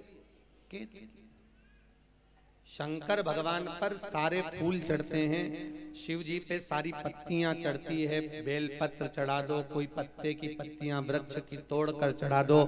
कोई भी फूल आप शंकर भगवान को समर्पित करोगे, शिव उसको स्वीकार कर लेगा। पर केतकी के फूल को कभी भगवान शंकर स्वीकार नहीं करते।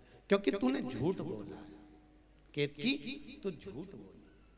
शंकर को झूठ प्रिय नहीं है। शंकर का नाम ही है सत्यम शिवम सुंदर शंकर को सबसे ज़्यादा प्रिय क्या है? सत्य इसलिए शिव जी को प्रिय है सत्य। तो लोग जब मुर्दा लेके जाते हैं तो क्या बोल के ले जाते बोलो जरा। राम नाम? अरे अच्छे से तो बोलो। हाँ अच्छे से बोलो जरा। राम नाम सत्य है। बार बार बोलने का मौका नहीं मिलेगा, अपन मरेंगे जब दूसरा बोलेगा, तुम आज ही बोल लो। बोलो, राम नाम सत्य। ज़िंदगी में एक ही चीज़ सत्य है, बस वो राम का भगवान को शंकर जी पे भस्म क्यों चढ़ती है? मुर्दे की भस्म। शंकर पर क्यों चढ़ती है? पार्वती जी ने शंकर जी से पूछा कि आपको कोई दूसरी भस्म नहीं मिली जो आप मुर्दे की राख लपेटते हो? मुर्दे की भस्म लपेटते हो? शंकर भगवान कहते हैं अरे पार्वती जब लोग इसको लेकर आते हैं कंधे पे लेकर तो इसके चक्कर में दुनिया के लोग राम का नाम लेते लेते आते हैं। तो मुझे इतना अच्छा लगता है कि वारे मरने वाले तूने जाते जाते राम का नाम तो निकलवा दिया। इसलिए तेरे शरीर की भस्म को मैं अपने शरीर पर चढ़ा मुर्दे की भस्म इसलिए शिव अपने तन पर ले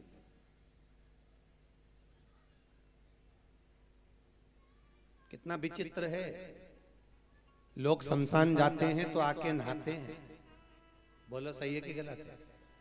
और लोग शमशान जाते हैं तो आके नहाते हैं। पर मेरे शंभु पर मेरे शंकर पर मेरे विश्वनाथ पर मेरे वेदनाथ पर मेरे महंकाल राजा पर शमशान की भस्म चढ़ती है। और जब उठाकर थैली में पैक कर कर पाँच पाँच हज़ार की बेची जाती है लोग उसको तिजोरी में रखते हैं। तिजोरी में रखते हैं। क्यों? क्योंकि शंकर पे चढ़ी हुई एक भस्म भी करोड़ों की हो जाती है साहब। क्योंकि वो शंकर कुबेर का खजाना खोल देता है। उस भस्म से उसमें कुबेर का खजाना समा।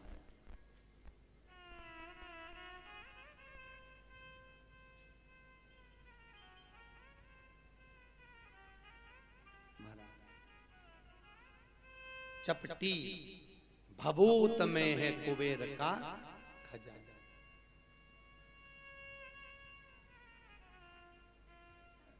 भगवान शिव के तन पर जो चढ़ा हुआ है, वो करोड़ों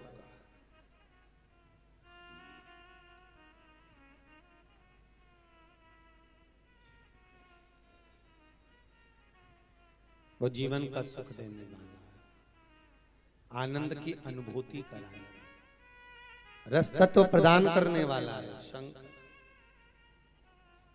महाराज बस। केतकी का फूल मुझ पे नहीं चढ़ेगा। इतने में ब्रह्मा जी बोले ये आकाशवाणी झूठी है ना मानो तो गौ माता से पूछो। भगवान विष्णु ने गौ माता को खड़ी कर कर पूछा बोल गौ माता क्या ब्रह्मा जी को भगवान शंकर का सिर मिला है? बोल। गौ माता एक रोटी के चक्कर में कहती है कि हाँ ब्रह्मा जी को भगवान शंकर का सिर मिला है। फिर भगवान विष्णु के सामने शिवलिंग में से आकाशवाणी फिर हो गई।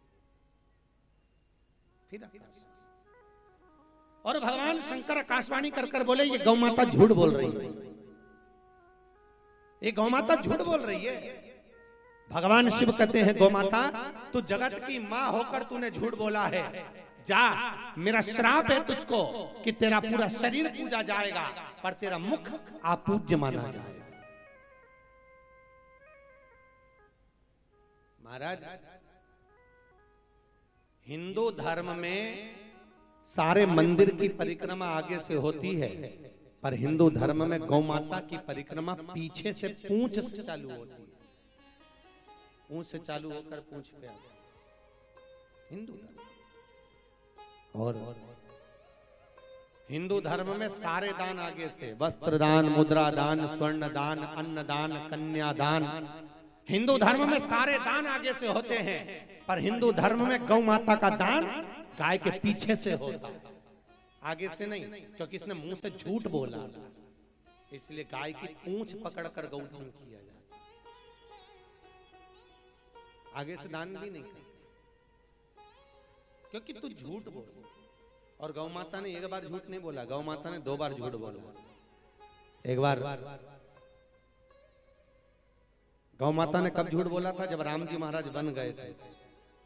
फाल्गु नदी के तट पर गया नदी के घाट पर।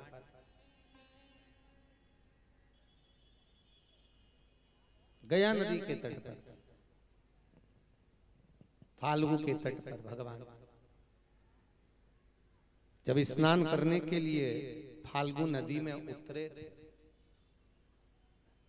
फाल्गु में जब भगवान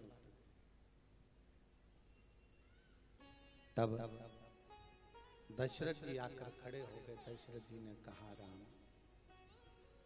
ए राम राम जी बोले, पिताजी, आप हाँ। राम मेरे प्राण छूट गए। मुझे जाना है बेकुंठ। तुम पिंडदान करोगे तब मुझे बेकुंठ मिलेगा। राम मुझे पिंड दे दो। राम जी कहते हैं पिताजी पिंड बनाने के लिए अन्न चाहिए। पिंड बनाने के लिए अन्न का भाग चाहिए। चावल चाहिए। चावल मेरे पास में नहीं मैं कल आपके लिए पिंड ला कर दूँगा। दशरथ जी बोले, अगर कल तक मुझे पिंड नहीं मिला तो मैं नरक चले जाऊँगा, राम। मुझे पिंड देना पड़ेगा आपको। राम जी कहते हैं, आप चिंता मत करो, मैं पिंड कल दूँगा। राम जी भिक्षा मांगने चले गए। सवेरे उठते से राम भिक्षा के लिए चले। भिक्षा मांगने और जैसे ही राम जी भिक्षा मांगने चले, सीता जी, लक्ष्मण जी, स्नान करने के लिए गए। माँ जानकी जैसी स्नान कर रही थी, जल में फाल्गु नदी के पानी में जैसे सीता जी उतर कर स्नान कर रही है। फाल्गु नदी के जल में जैसी माता जानकी उतर कर स्नान कर रही थी। दशरथ जी आकर खड़े हो गए, सीता, लाओ मुझे पिंड दे दो। सीता जी ने कहा, पिताजी, पिंड तो तुम्हारे बेटे देंगे, वो लेने गए हैं भिक्षा, आएँगे जब देंगे। दशरथ जी कहते इतना नहीं रुक सकता जानकी। अगर पिंड नहीं मिला तो मैं नरक चले जाऊँगा तो मुझे पिंड दो। सीता जी ने ब्राह्मण को बुलाया ब्राह्मण देव मेरे ससुर को पिंड देना है। पति नहीं है यहाँ पर। क्या मैं बहु पिंड दे सकती हूँ? ब्राह्मण ने कहा पिंड दे सकती हूँ? दो पर मेरे पास में पिंड बनाने के लिए चावल नहीं है।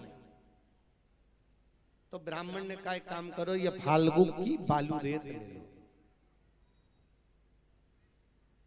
क्या ले लो जम के बोलिए बालू रेत इस फाल्गु नदी की बालू ले और बालू रेत लेकर इसका पिंड बनाओ सीता जी ने बालू रेत का पिंड बनाया ब्राह्मण ने मंत्र बोले संकल्प छुड़वाया एक पिंड सीता जी ने गौ माता को दिया दूसरा पिंड सीता जी ने ब्राह्मण को दिया तीसरा पिंड सीता जी ने फाल्गु नदी को दिया और चौथा पिंड सीता जी ने दशरथ जी को दिया दशरथ जी पिंड लेकर चले गए।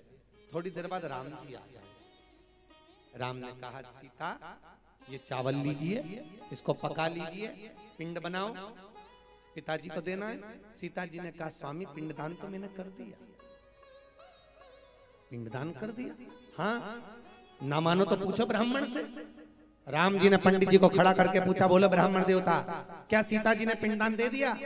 ब्राह्मण ने राम जी के हाथ में चावल देखे तो ब्राह्मण ने सोचा बालू रेत का पिंड, क्या मेरा पेट भराया, क्या मेरे बच्चों का पेट भराएगा? और ब्राह्मण ने कह दिया, राम जी, सीता जी ने कोई पिंडदान नहीं करा। ब्राह्मण बोला, सीता जी ने कोई पिंडदान नहीं करा। जैसे ही ब्राह्मण बोला, सीता की आँख में आँसू भर गए। माँ जानकी रो पड़ी, नैनों से जल बह रहा था माँ के, आँखों से अश्रु निकल रहे थे। माँ रोती बिलखती माता। सीता आँखों में आँसू भरकर ब्राह्मण को देखकर बोली रे ब्राह्मण, तूने संकल्प दिलाया, तूने पिंडदान करवाया, एक पिंड का भाग तुझे दिया और तू झूठ बोल रहा है? सीता जी रोती हुई बोली रे ब्राह्मण, मैं तुझे श्राप देती हूँ। तू कितना भी जोड़ लेना, तेरे यहाँ हमेशा कमी ही पड़ेगी। ब्राह्मण कितना भी जोड़ ले, उसको हमेशा कम ही लगता कितना भी जोड़े, उसको कम ही। तो झूठ बोला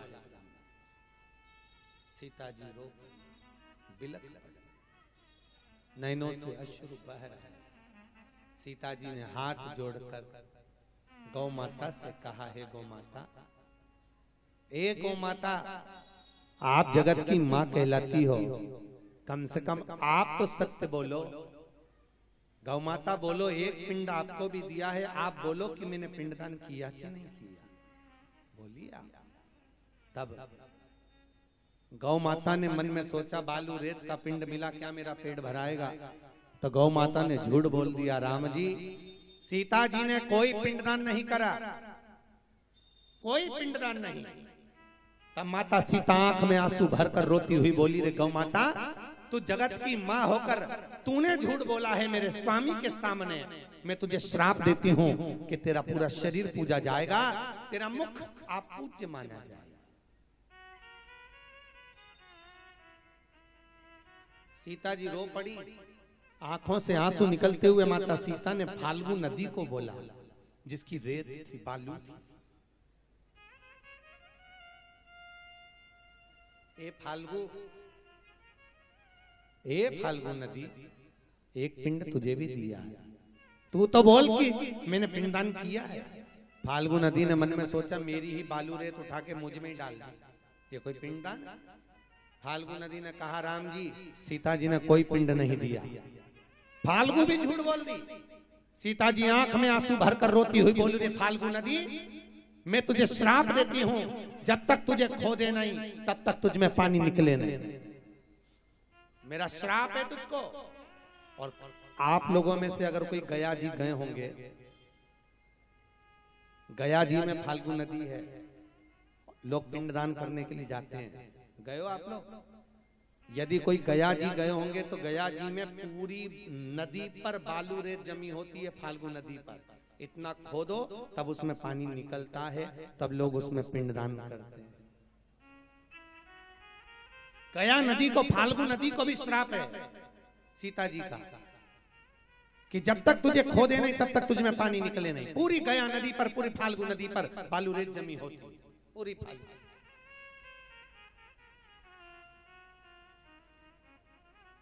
आँख में आँसू से माँ जानकी के रो। और माँ जानकी रोते रोते अपने पिता दशरथ जी को याद करें, पिताजी, आप आइए। आप सत्य बताइए। इतने में दशरथ जी का हाथ गया नदी में फाल्गु नदी में निकलकर बाहर आया। राम जी ने उसको छू लिया। हाथ पत्थर का हो गया। आज भी गया जी में दशरथ जी का हाथ है बीच नदी में जिसपे लोग पिंडदान करने जाते हैं। आज भी है। तो यहाँ गौ माता झूठ कह रही यहाँ गौ माता झूठ बोल। तुम झूठ बोल शंकर भगवान ने कहा गौ माता तू जगत की माँ होकर झूठ बोली है तब ब्रह्मा जी बोले ये आकाशवाणी झूठी है। भगवान शंकर को क्रोध आया। शंकर भगवान ने अपने पाँव के नख को तोड़ा फेंका। उसको काल भैरव को प्रकट कर लिया। और काल भैरव प्रकट कर भगवान शंकर ने कहा, काल भैरव इस ब्रह्मा का सिर काट दे जिससे झूठ बोल रहा काट इस ब्रह्मा का सिर। काल भैरव प्रकट हुआ। उसने अपनी चीटी उंगली के नक को तोड़ा, तोड़ कर फेंका और फेंकते से भगवान ब्रह्मा का सिर कट गया। सिर कटा तो ब्रह्मा का सिर लुढ़कते लुढ़कते जा रहा और कहते हुए जा रहा है आकाशवाणी झूठी है। अभी भी ब्रह्मा झूठ बोल रहा है। अभी भी झूठ।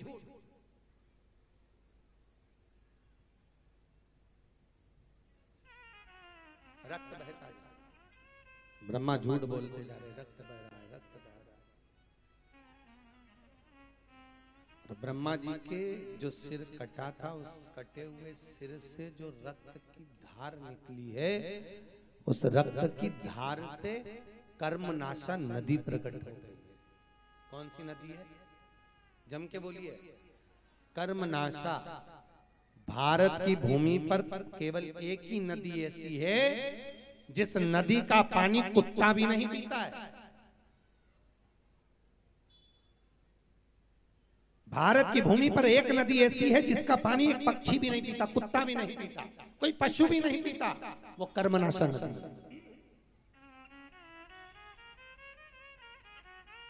यूपी गवर्नमेंट ने बड़े बड़े बोर्ड लगा के रखे हैं ये कर्मनाशा इसमें हाथ ना धोइए इसमें पाँव ना धोइए।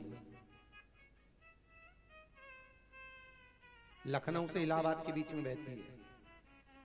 कभी दर्शन करें हो आपने कर्मनाशा। बड़े बड़े बोर्ड लगे इस नदी के घाट पर।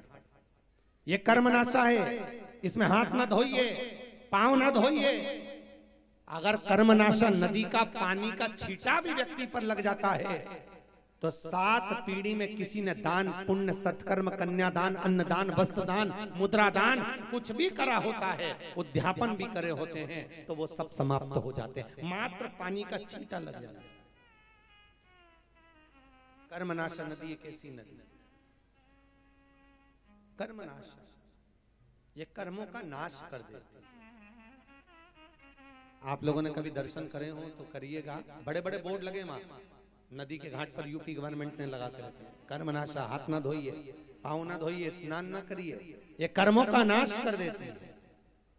पूरी दुनिया में एक ही नदी है जिसमें कुत्ता भी पानी नहीं पीता। बताओ उस कुत्ते को कौन ने बताने गया कि कर्मनाशा पानी मत पिए पर उसमें मुँह तक नहीं डालता कर्म कर्मों का जो नाश ब्रह्मा के झूठ बोलने से जो नदी प्रकट हुई, वो कर्मनाशा भगवान विष्णु ने ब्रह्मा जी के हाथ जोड़े, ब्रह्मदेव, अब आप चुप हो जाओ। ब्रह्मा चुप हुए। भगवान विष्णु ने शंकर जी से कहा, निवेदन करता हूँ, भोलेनाथ, ये ब्रह्मा का जो सिर कटा है, लोग इससे नफरत करेंगे ईर्षा करेंगे। आप ब्रह्मा जी के शीश का कुछ करिए। तब भगवान ने, शंकर ने ब्रह्मा जी के कटे हुए शीश को बड़का पेड़ बना दिया, बट वृक्ष बना दिया। कौन सा पेड़ है वो? बड़का पेड़। बट वृक्ष। देखा है आप लोगों ने? अरे बोलो तो। बट वृक्ष देखा ना बड़ा फैला हुआ वृक्ष। बट वृक्ष। बड़ का पेड़। बट वृक्ष। ये ब्रह्मा के कटे हुए सिर से बना हुआ झूठ बोलने वाले सिर से।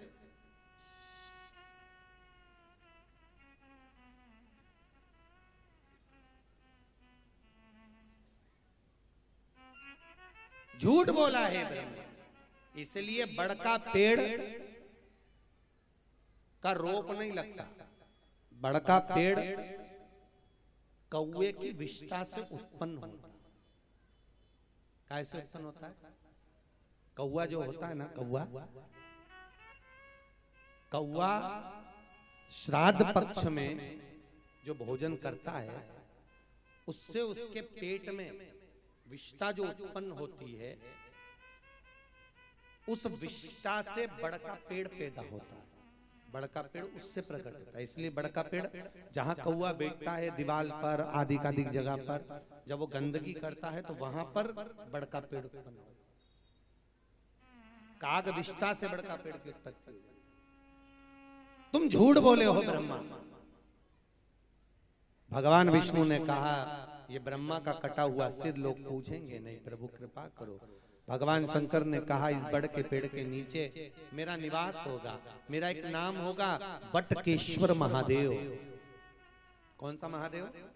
बटकेश्वर महादेव। बटकेश्वर के रूप में मैं विराजमान होऊँगा, लोग मेरी पूजन करेंगे बड़ के पेड़ के नीचे। ध्यान दीजिएगा, अदालत में अगर कोई केस चल रहा है कोई अदालत में कार्रवाई चल रही है, केस चल रहा है, नहीं जीत रहे तो बड़ के पेड़ के नीचे बालू का शिवलिंग बनाइए, मिट्टी का शिवलिंग बनाइए और उसका पूजन कर कर सात चम्मच उस पर दही चढ़ा दीजिए। उस दही को उठाकर लाइए चम्मच में वापिस थोड़ा सा सफ़ेद रुमाल में उस दही के हाथ में मलकर छापे लगा लीजिए। और उसको जेब में रखकर अदालत में चले जाइए। आपको विजय प्राप्त होगी। आप हार नहीं सकते। बटकेश्वर महादेव विजय देता बटकेश्वर महादेव विजय प्राप्त बटकेश्वर महादेव भगवान बटकेश्वर के रूप में विराजमान। बोल बटकेश्वर महादेव की भगवान शिव बटकेश्वर के रूप में विराजित होते हैं। बहुत ध्यान दीजिएगा, कोई बच्चा पढ़ाई कर रहा है, विद्या अध्ययन कर रहा है, नौकरी के लिए अप्लाई कर रहा है सर्विस नहीं लग रही, नौकरी नहीं लग रही, या किसी व्यक्ति से कोई काम करना है, कोई व्यक्ति अपना पैसा खाकर भाग गया, कोई व्यक्ति रुपया लेकर चले गया, नहीं दे रहा, बहुत प्रयास करा, कोई व्यापारी पैसा ले गया और नहीं दे रहा तो बड़ के पेड़ के नीचे मिट्टी का शिवलिंग बनाओ। उसकी पूजन करो। पूजन कर कर पीपल के पाँच पत्ते। कितने पत्ते? पाँच। पीपल के पत्ते रखकर उस पे काली तिल्ली रखो। और वो काली तिल्ली पत्ते से, जैसे पत्ते के अंदर काली तिल्ली रखी और रखकर काली तिल्ली रखकर शंकर जी को समर्पित करो। जिस व्यक्ति से पैसा लेना, उस व्यक्ति के नाम से। जो खाकर चले गए या नहीं दे रहा उसको काली तिल्ली पाँचों पत्ते की तिल्ली उस शिवलिंग पर उठा उठा कर चढ़ा दीजिए। उसका नाम लेकर बाद में उस शिवलिंग को विसर्जन कर दीजिए। तीन महीने के अंदर वो व्यक्ति हाथ जोड़कर पैसा देकर जाएगा। बटकेश्वर महादेव का मात्र स्मरण कर लेने से व्यक्ति धन वापस ला देता है। धन वापस कौन सा महादेव? ये स्पीकर बार बार बंद हो रहा है चालू हो रहा है इसको देखो बटकेश्वर महादेव। का भगवान बटकेश्वर के रूप में विराजमान है। बटकेश्वर महादेव। भगवान शिव। जब बटकेश्वर के रूप में विराजित हुए बटकेश्वर महादेव के रूप में भगवान शंकर जब जाकर विराजमान हुए तब देवताओं ने बटकेश्वर महादेव का स्मरण किया। बटकेश्वर एक बार दोनों हाथ उठाकर बटकेश्वर महादेव के लिए स्मरण करें। बोल बटकेश्वर महादेव की, हर हर महा। भगवान बटकेश्वर का स्मरण करना चाहिए कोई बच्चा पढ़ाई कर रहा है, एग्ज़ाम में बैठ रहा है, पास नहीं हो रहा, बहुत परीक्षा में बैठ गया, उत्तीर्ण नहीं हो रहा तो बटकेश्वर महादेव का बड़ के पेड़ के नीचे पूजन कर कर उस पे काली मिर्ची समर्पित कर। एक काली मिर्च शंकर को चढ़ाना है महाराज और काली मिर्च समर्पित कर कर एक काली मिर्च जो शंकर पर नहीं चढ़ाई है, एक काली मिर्च दरवाजे की चौखट पर रखे, उस पर उल्टा पाँव रखकर एग्ज़ाम देने के लिए चले जाए बच्चा उत्तीर्ण होगा और अच्छे नंबर से पास होगा। जिस नौकरी के लिए अप्लाई करा है, उसमें जॉब भी उसका तुरंत लगेगा। बटकेश्वर महादेव का नाम लेकर घर से। बटकेश्वर यही बटकेश्वर महादेव है, किसी ज़मीन में बोर कर रहे हो। क्या बोलते हैं होल करना, बोल करना, पानी निकालने के लिए। किसी ज़मीन में अगर पानी नहीं निकल रहा और बहुत परेशान हो गए, बहुत सारे बोर लगा लिए। बहुत सारे ट्यूबवेल लगाए सक्सेस नहीं हुए। तो बटकेश्वर महादेव का नाम लेकर किसी भी पुष्य नक्षत्र में भगवान शंकर का पूजन कर कर एक लोटे में पानी लेकर भगवान शंकर को समर्पित कर कर वही पानी को वापस झेल लीजिए और झेल कर उसमें काली तिल्ली काली मिर्च और एक बेलपत्र उसमें डालकर जहाँ पर होल करवा रहे हो खड्डा करवा रहे हो पानी के लिए कुआँ करवा रहे हो, ट्यूबवेल करवा रहे हो, उस जगह पर डालकर फिर मशीन को चालू करवा दीजिए। महाराज, उस जगह पर पानी निकलेगा। कहीं से भी आएगा, पर गंगा की धार वहाँ प्रकट होगी। बटकेश्वर महादेव जल प्रदान ज़मीन में वहाँ पानी निकलता ही। बटकेश्वर भगवान शिव देवता। शंकर करुणा। आया समय।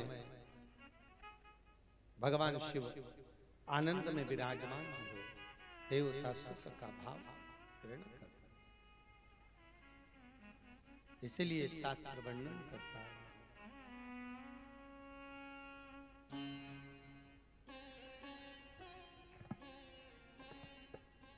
कि मेरे भोले बाबा को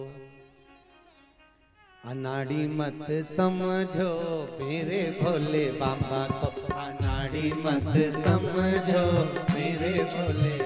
को अनाड़ी मत समझो। ओ मेरे शंभो बाबा को अनाड़ी मत समझो। रे शंभु बाबा को अनाड़ी मत समझो। अनाड़ी मत समझो अनाड़ी मत समझो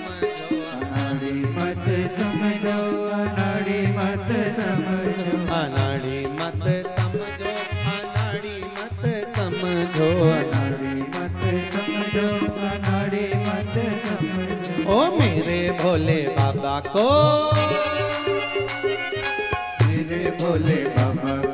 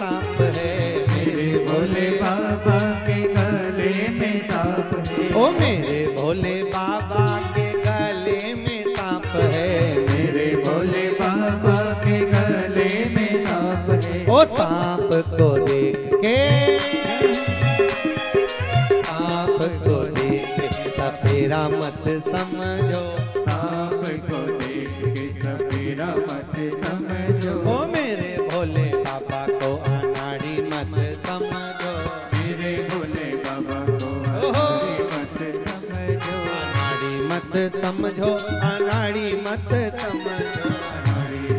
समझो अनाड़ी मत समझो अनाड़ी मत समझो समझो अनाड़ी मत समझो अनाड़ी मत समझो। ओ मेरे भोले बाबा को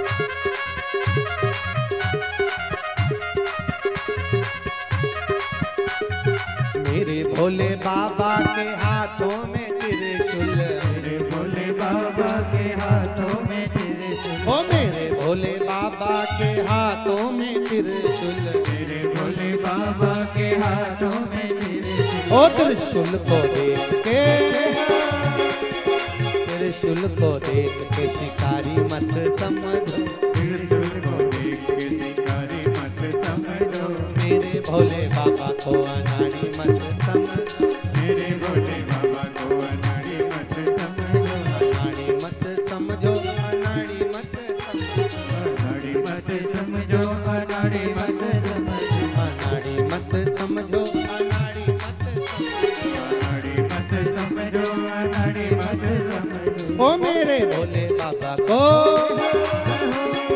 मेरे भोले बाबा को अनाड़ी मत समझो। मेरे भोले बाबा को अनाड़ी मत समझो। मेरे शंभू बाबा को अनाड़ी मत समझो। मेरे शंभू बाबा को अनाड़ी मत समझो। हर हर महादेव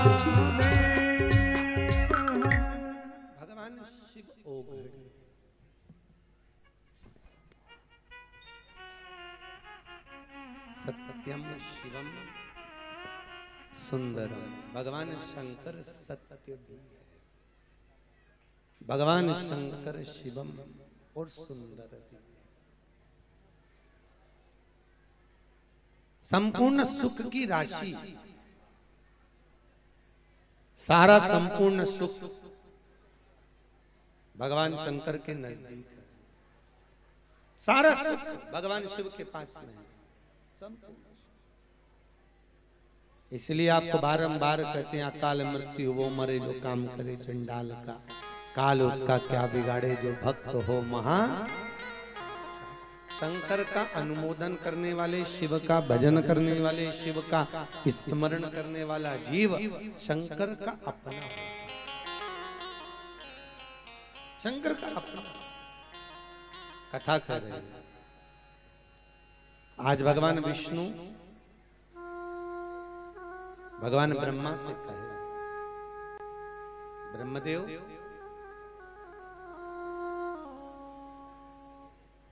अब आप सृष्टि की रचना करिए। ब्रह्मा जी ने कहा सृष्टि की रचना?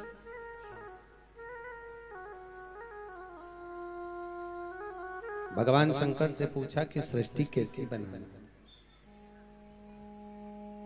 सृष्टि की रचना करना है तो सृष्टि बनाना कैसी है? ब्रह्मा जी भगवान शंकर से पूछ रहे हैं आप बताओ मैं सृष्टि कैसे बनाऊँ भगवान शंकर ने कहा एक काम करो ब्रह्मा।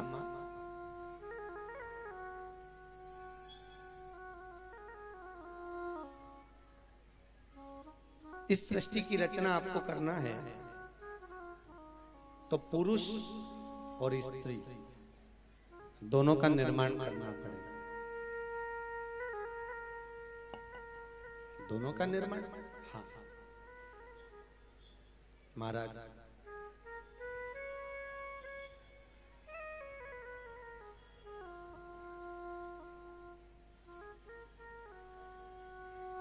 पुरुष और स्त्री का निर्माण करना है वो भी ब्रह्मदेव से कहा गया कि आपको निर्माण करना है। ब्रह्मा जी बोले मैं तैयार हूँ करने के लिए पर, पर, पर कितने पुरुष और कितने स्त्री बनाना है? ये ब्रह्मा भगवान शंकर से पूछे।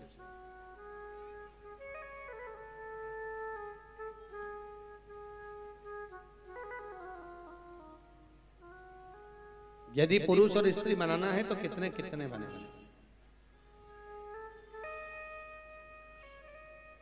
भगवान शंकर ने कहा ब्रह्मदेव आधे पुरुष बना दो आधे स्त्री बना दो। अब ब्रह्मा जी जान नहीं पाए। पुरुष और स्त्री के भाव को। पुरुष और स्त्री बनाना कैसे हैं तो भगवान का स्वरूप देखकर जो दर्शन कर कर बनाया वो आधे पुरुष आधे स्त्री ब्रह्मा जी ने बनाया भगवान शंकर ने कहा था, ब्रह्मा, आधे पुरुष बना दो, आधे स्त्री बना दो। मतलब अगर दो पुरुष बनाए हैं तो दो स्त्री बनाओ, चार पुरुष बनाए हैं तो चार स्त्री बनाओ, पाँच पुरुष बनाए हैं तो पाँच स्त्री बनाओ, दस पुरुष बनाए हैं तो दस स्त्री बनाओ।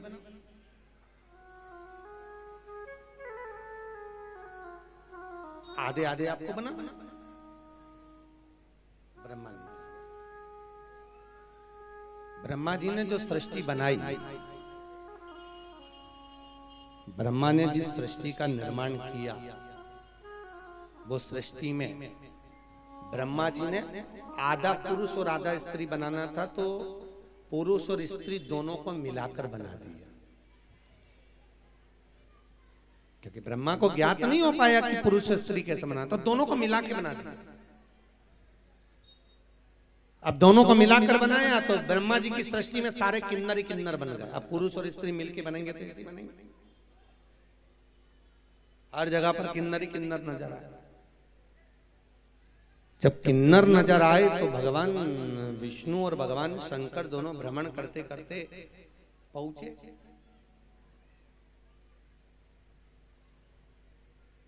और भगवान विष्णु और भगवान शंकर जब दोनों भ्रमण करते करते पहुँचे तो जाकर देखा। क्या देखा? कि भगवान शंकर और भगवान विष्णु ने पृथ्वी पर जाकर देखा तो चारों तरफ़ किन्नर ही किन्नर थे। तो भगवान विष्णु को लगा शंकर जी से पूछा, भोलेनाथ जी, क्या बना दिया ब्रह्मा जी ने? ब्रह्मा जी से पूछा, तुमने क्या बनाया? ब्रह्मा जी बोले, आधा पुरुष, आधा स्त्री। तो शंकर भगवान माथा ठोक के बोले, बोला था अलग अलग बनाना, बना दिया भेला। इकट्ठा। देवता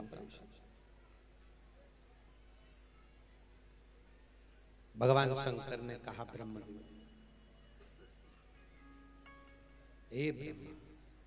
तुमने ये सृष्टि बनाई है, ये सृष्टि कोई ठीक नहीं बनी ब्रह्मा, इस सृष्टि का निर्माण तुमने श्रेष्ठता में नहीं किया। सृष्टि का निर्माण यदि आपको करना था तो पुरुष और स्त्री अलग अलग बनाना थे। तभी भगवान शंकर ने अपना अर्धनारेश्वर स्वरूप का दर्शन दिया। भगवान अर्धनारेश्वर स्वरूप का दर्शन देते हैं। ब्रह्मा की साक्षी में ब्रह्मा के सामने। भगवान आधा शिव आधा पार्वती बनकर पधार रहे हैं। जोरदार ताली बजाएँ भगवान शंकर के। भगवान शंकर ने अर्धनारेश्वर स्वरूप का दर्शन दिया। आधे शंकर और आधे पार्वती भगवान शिव बने हैं महाराज। शंकर और भगवान शंकर आधे शिव आधे पार्वती बनकर भगवान शंकर सम्मुख प्रकट हो महाराज त्रिपुरारी बन के कंसारी बन के चले आना। भोले जी, चले आना। त्रिपुरारी बन के कंसारी बन के चले आना। भोले जी, चले आना। त्रिपुरारी बन के कंसारी बन के चले आना। भोले जी, चले त्रिपुरारी बन के कंसारी बन के चले आना भोले जी चले आना।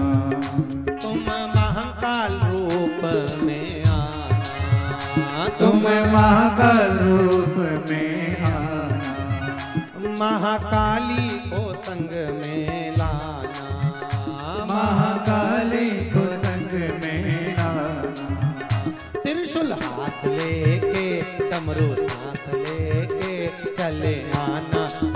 चले आना।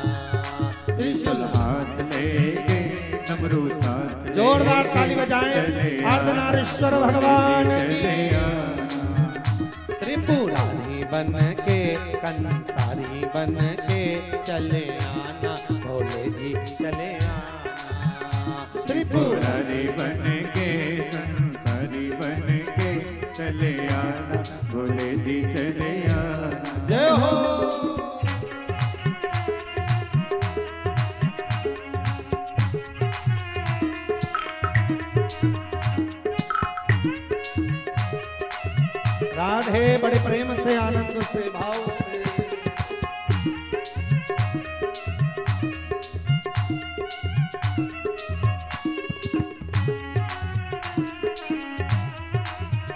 Oh.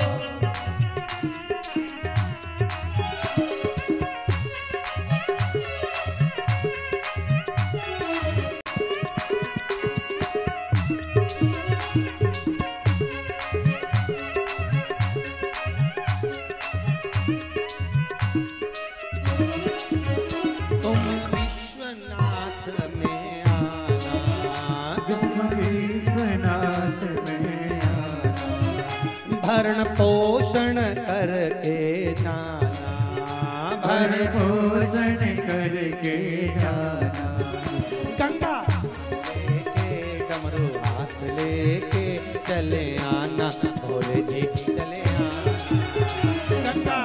लेके डमरू हाथ लेके चले आना भोले जी चले आना। त्रिपुरारी बन के अंसारी बन के चले आना भोले जी चले आना।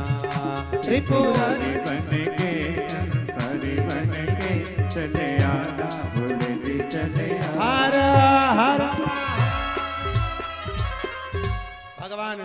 शंकर के आज भगवान शिव ने अर्धनारीश्वर स्वरूप का दर्शन दिया। ब्रह्मा, तुम्हें सृष्टि ऐसी बनाना थी।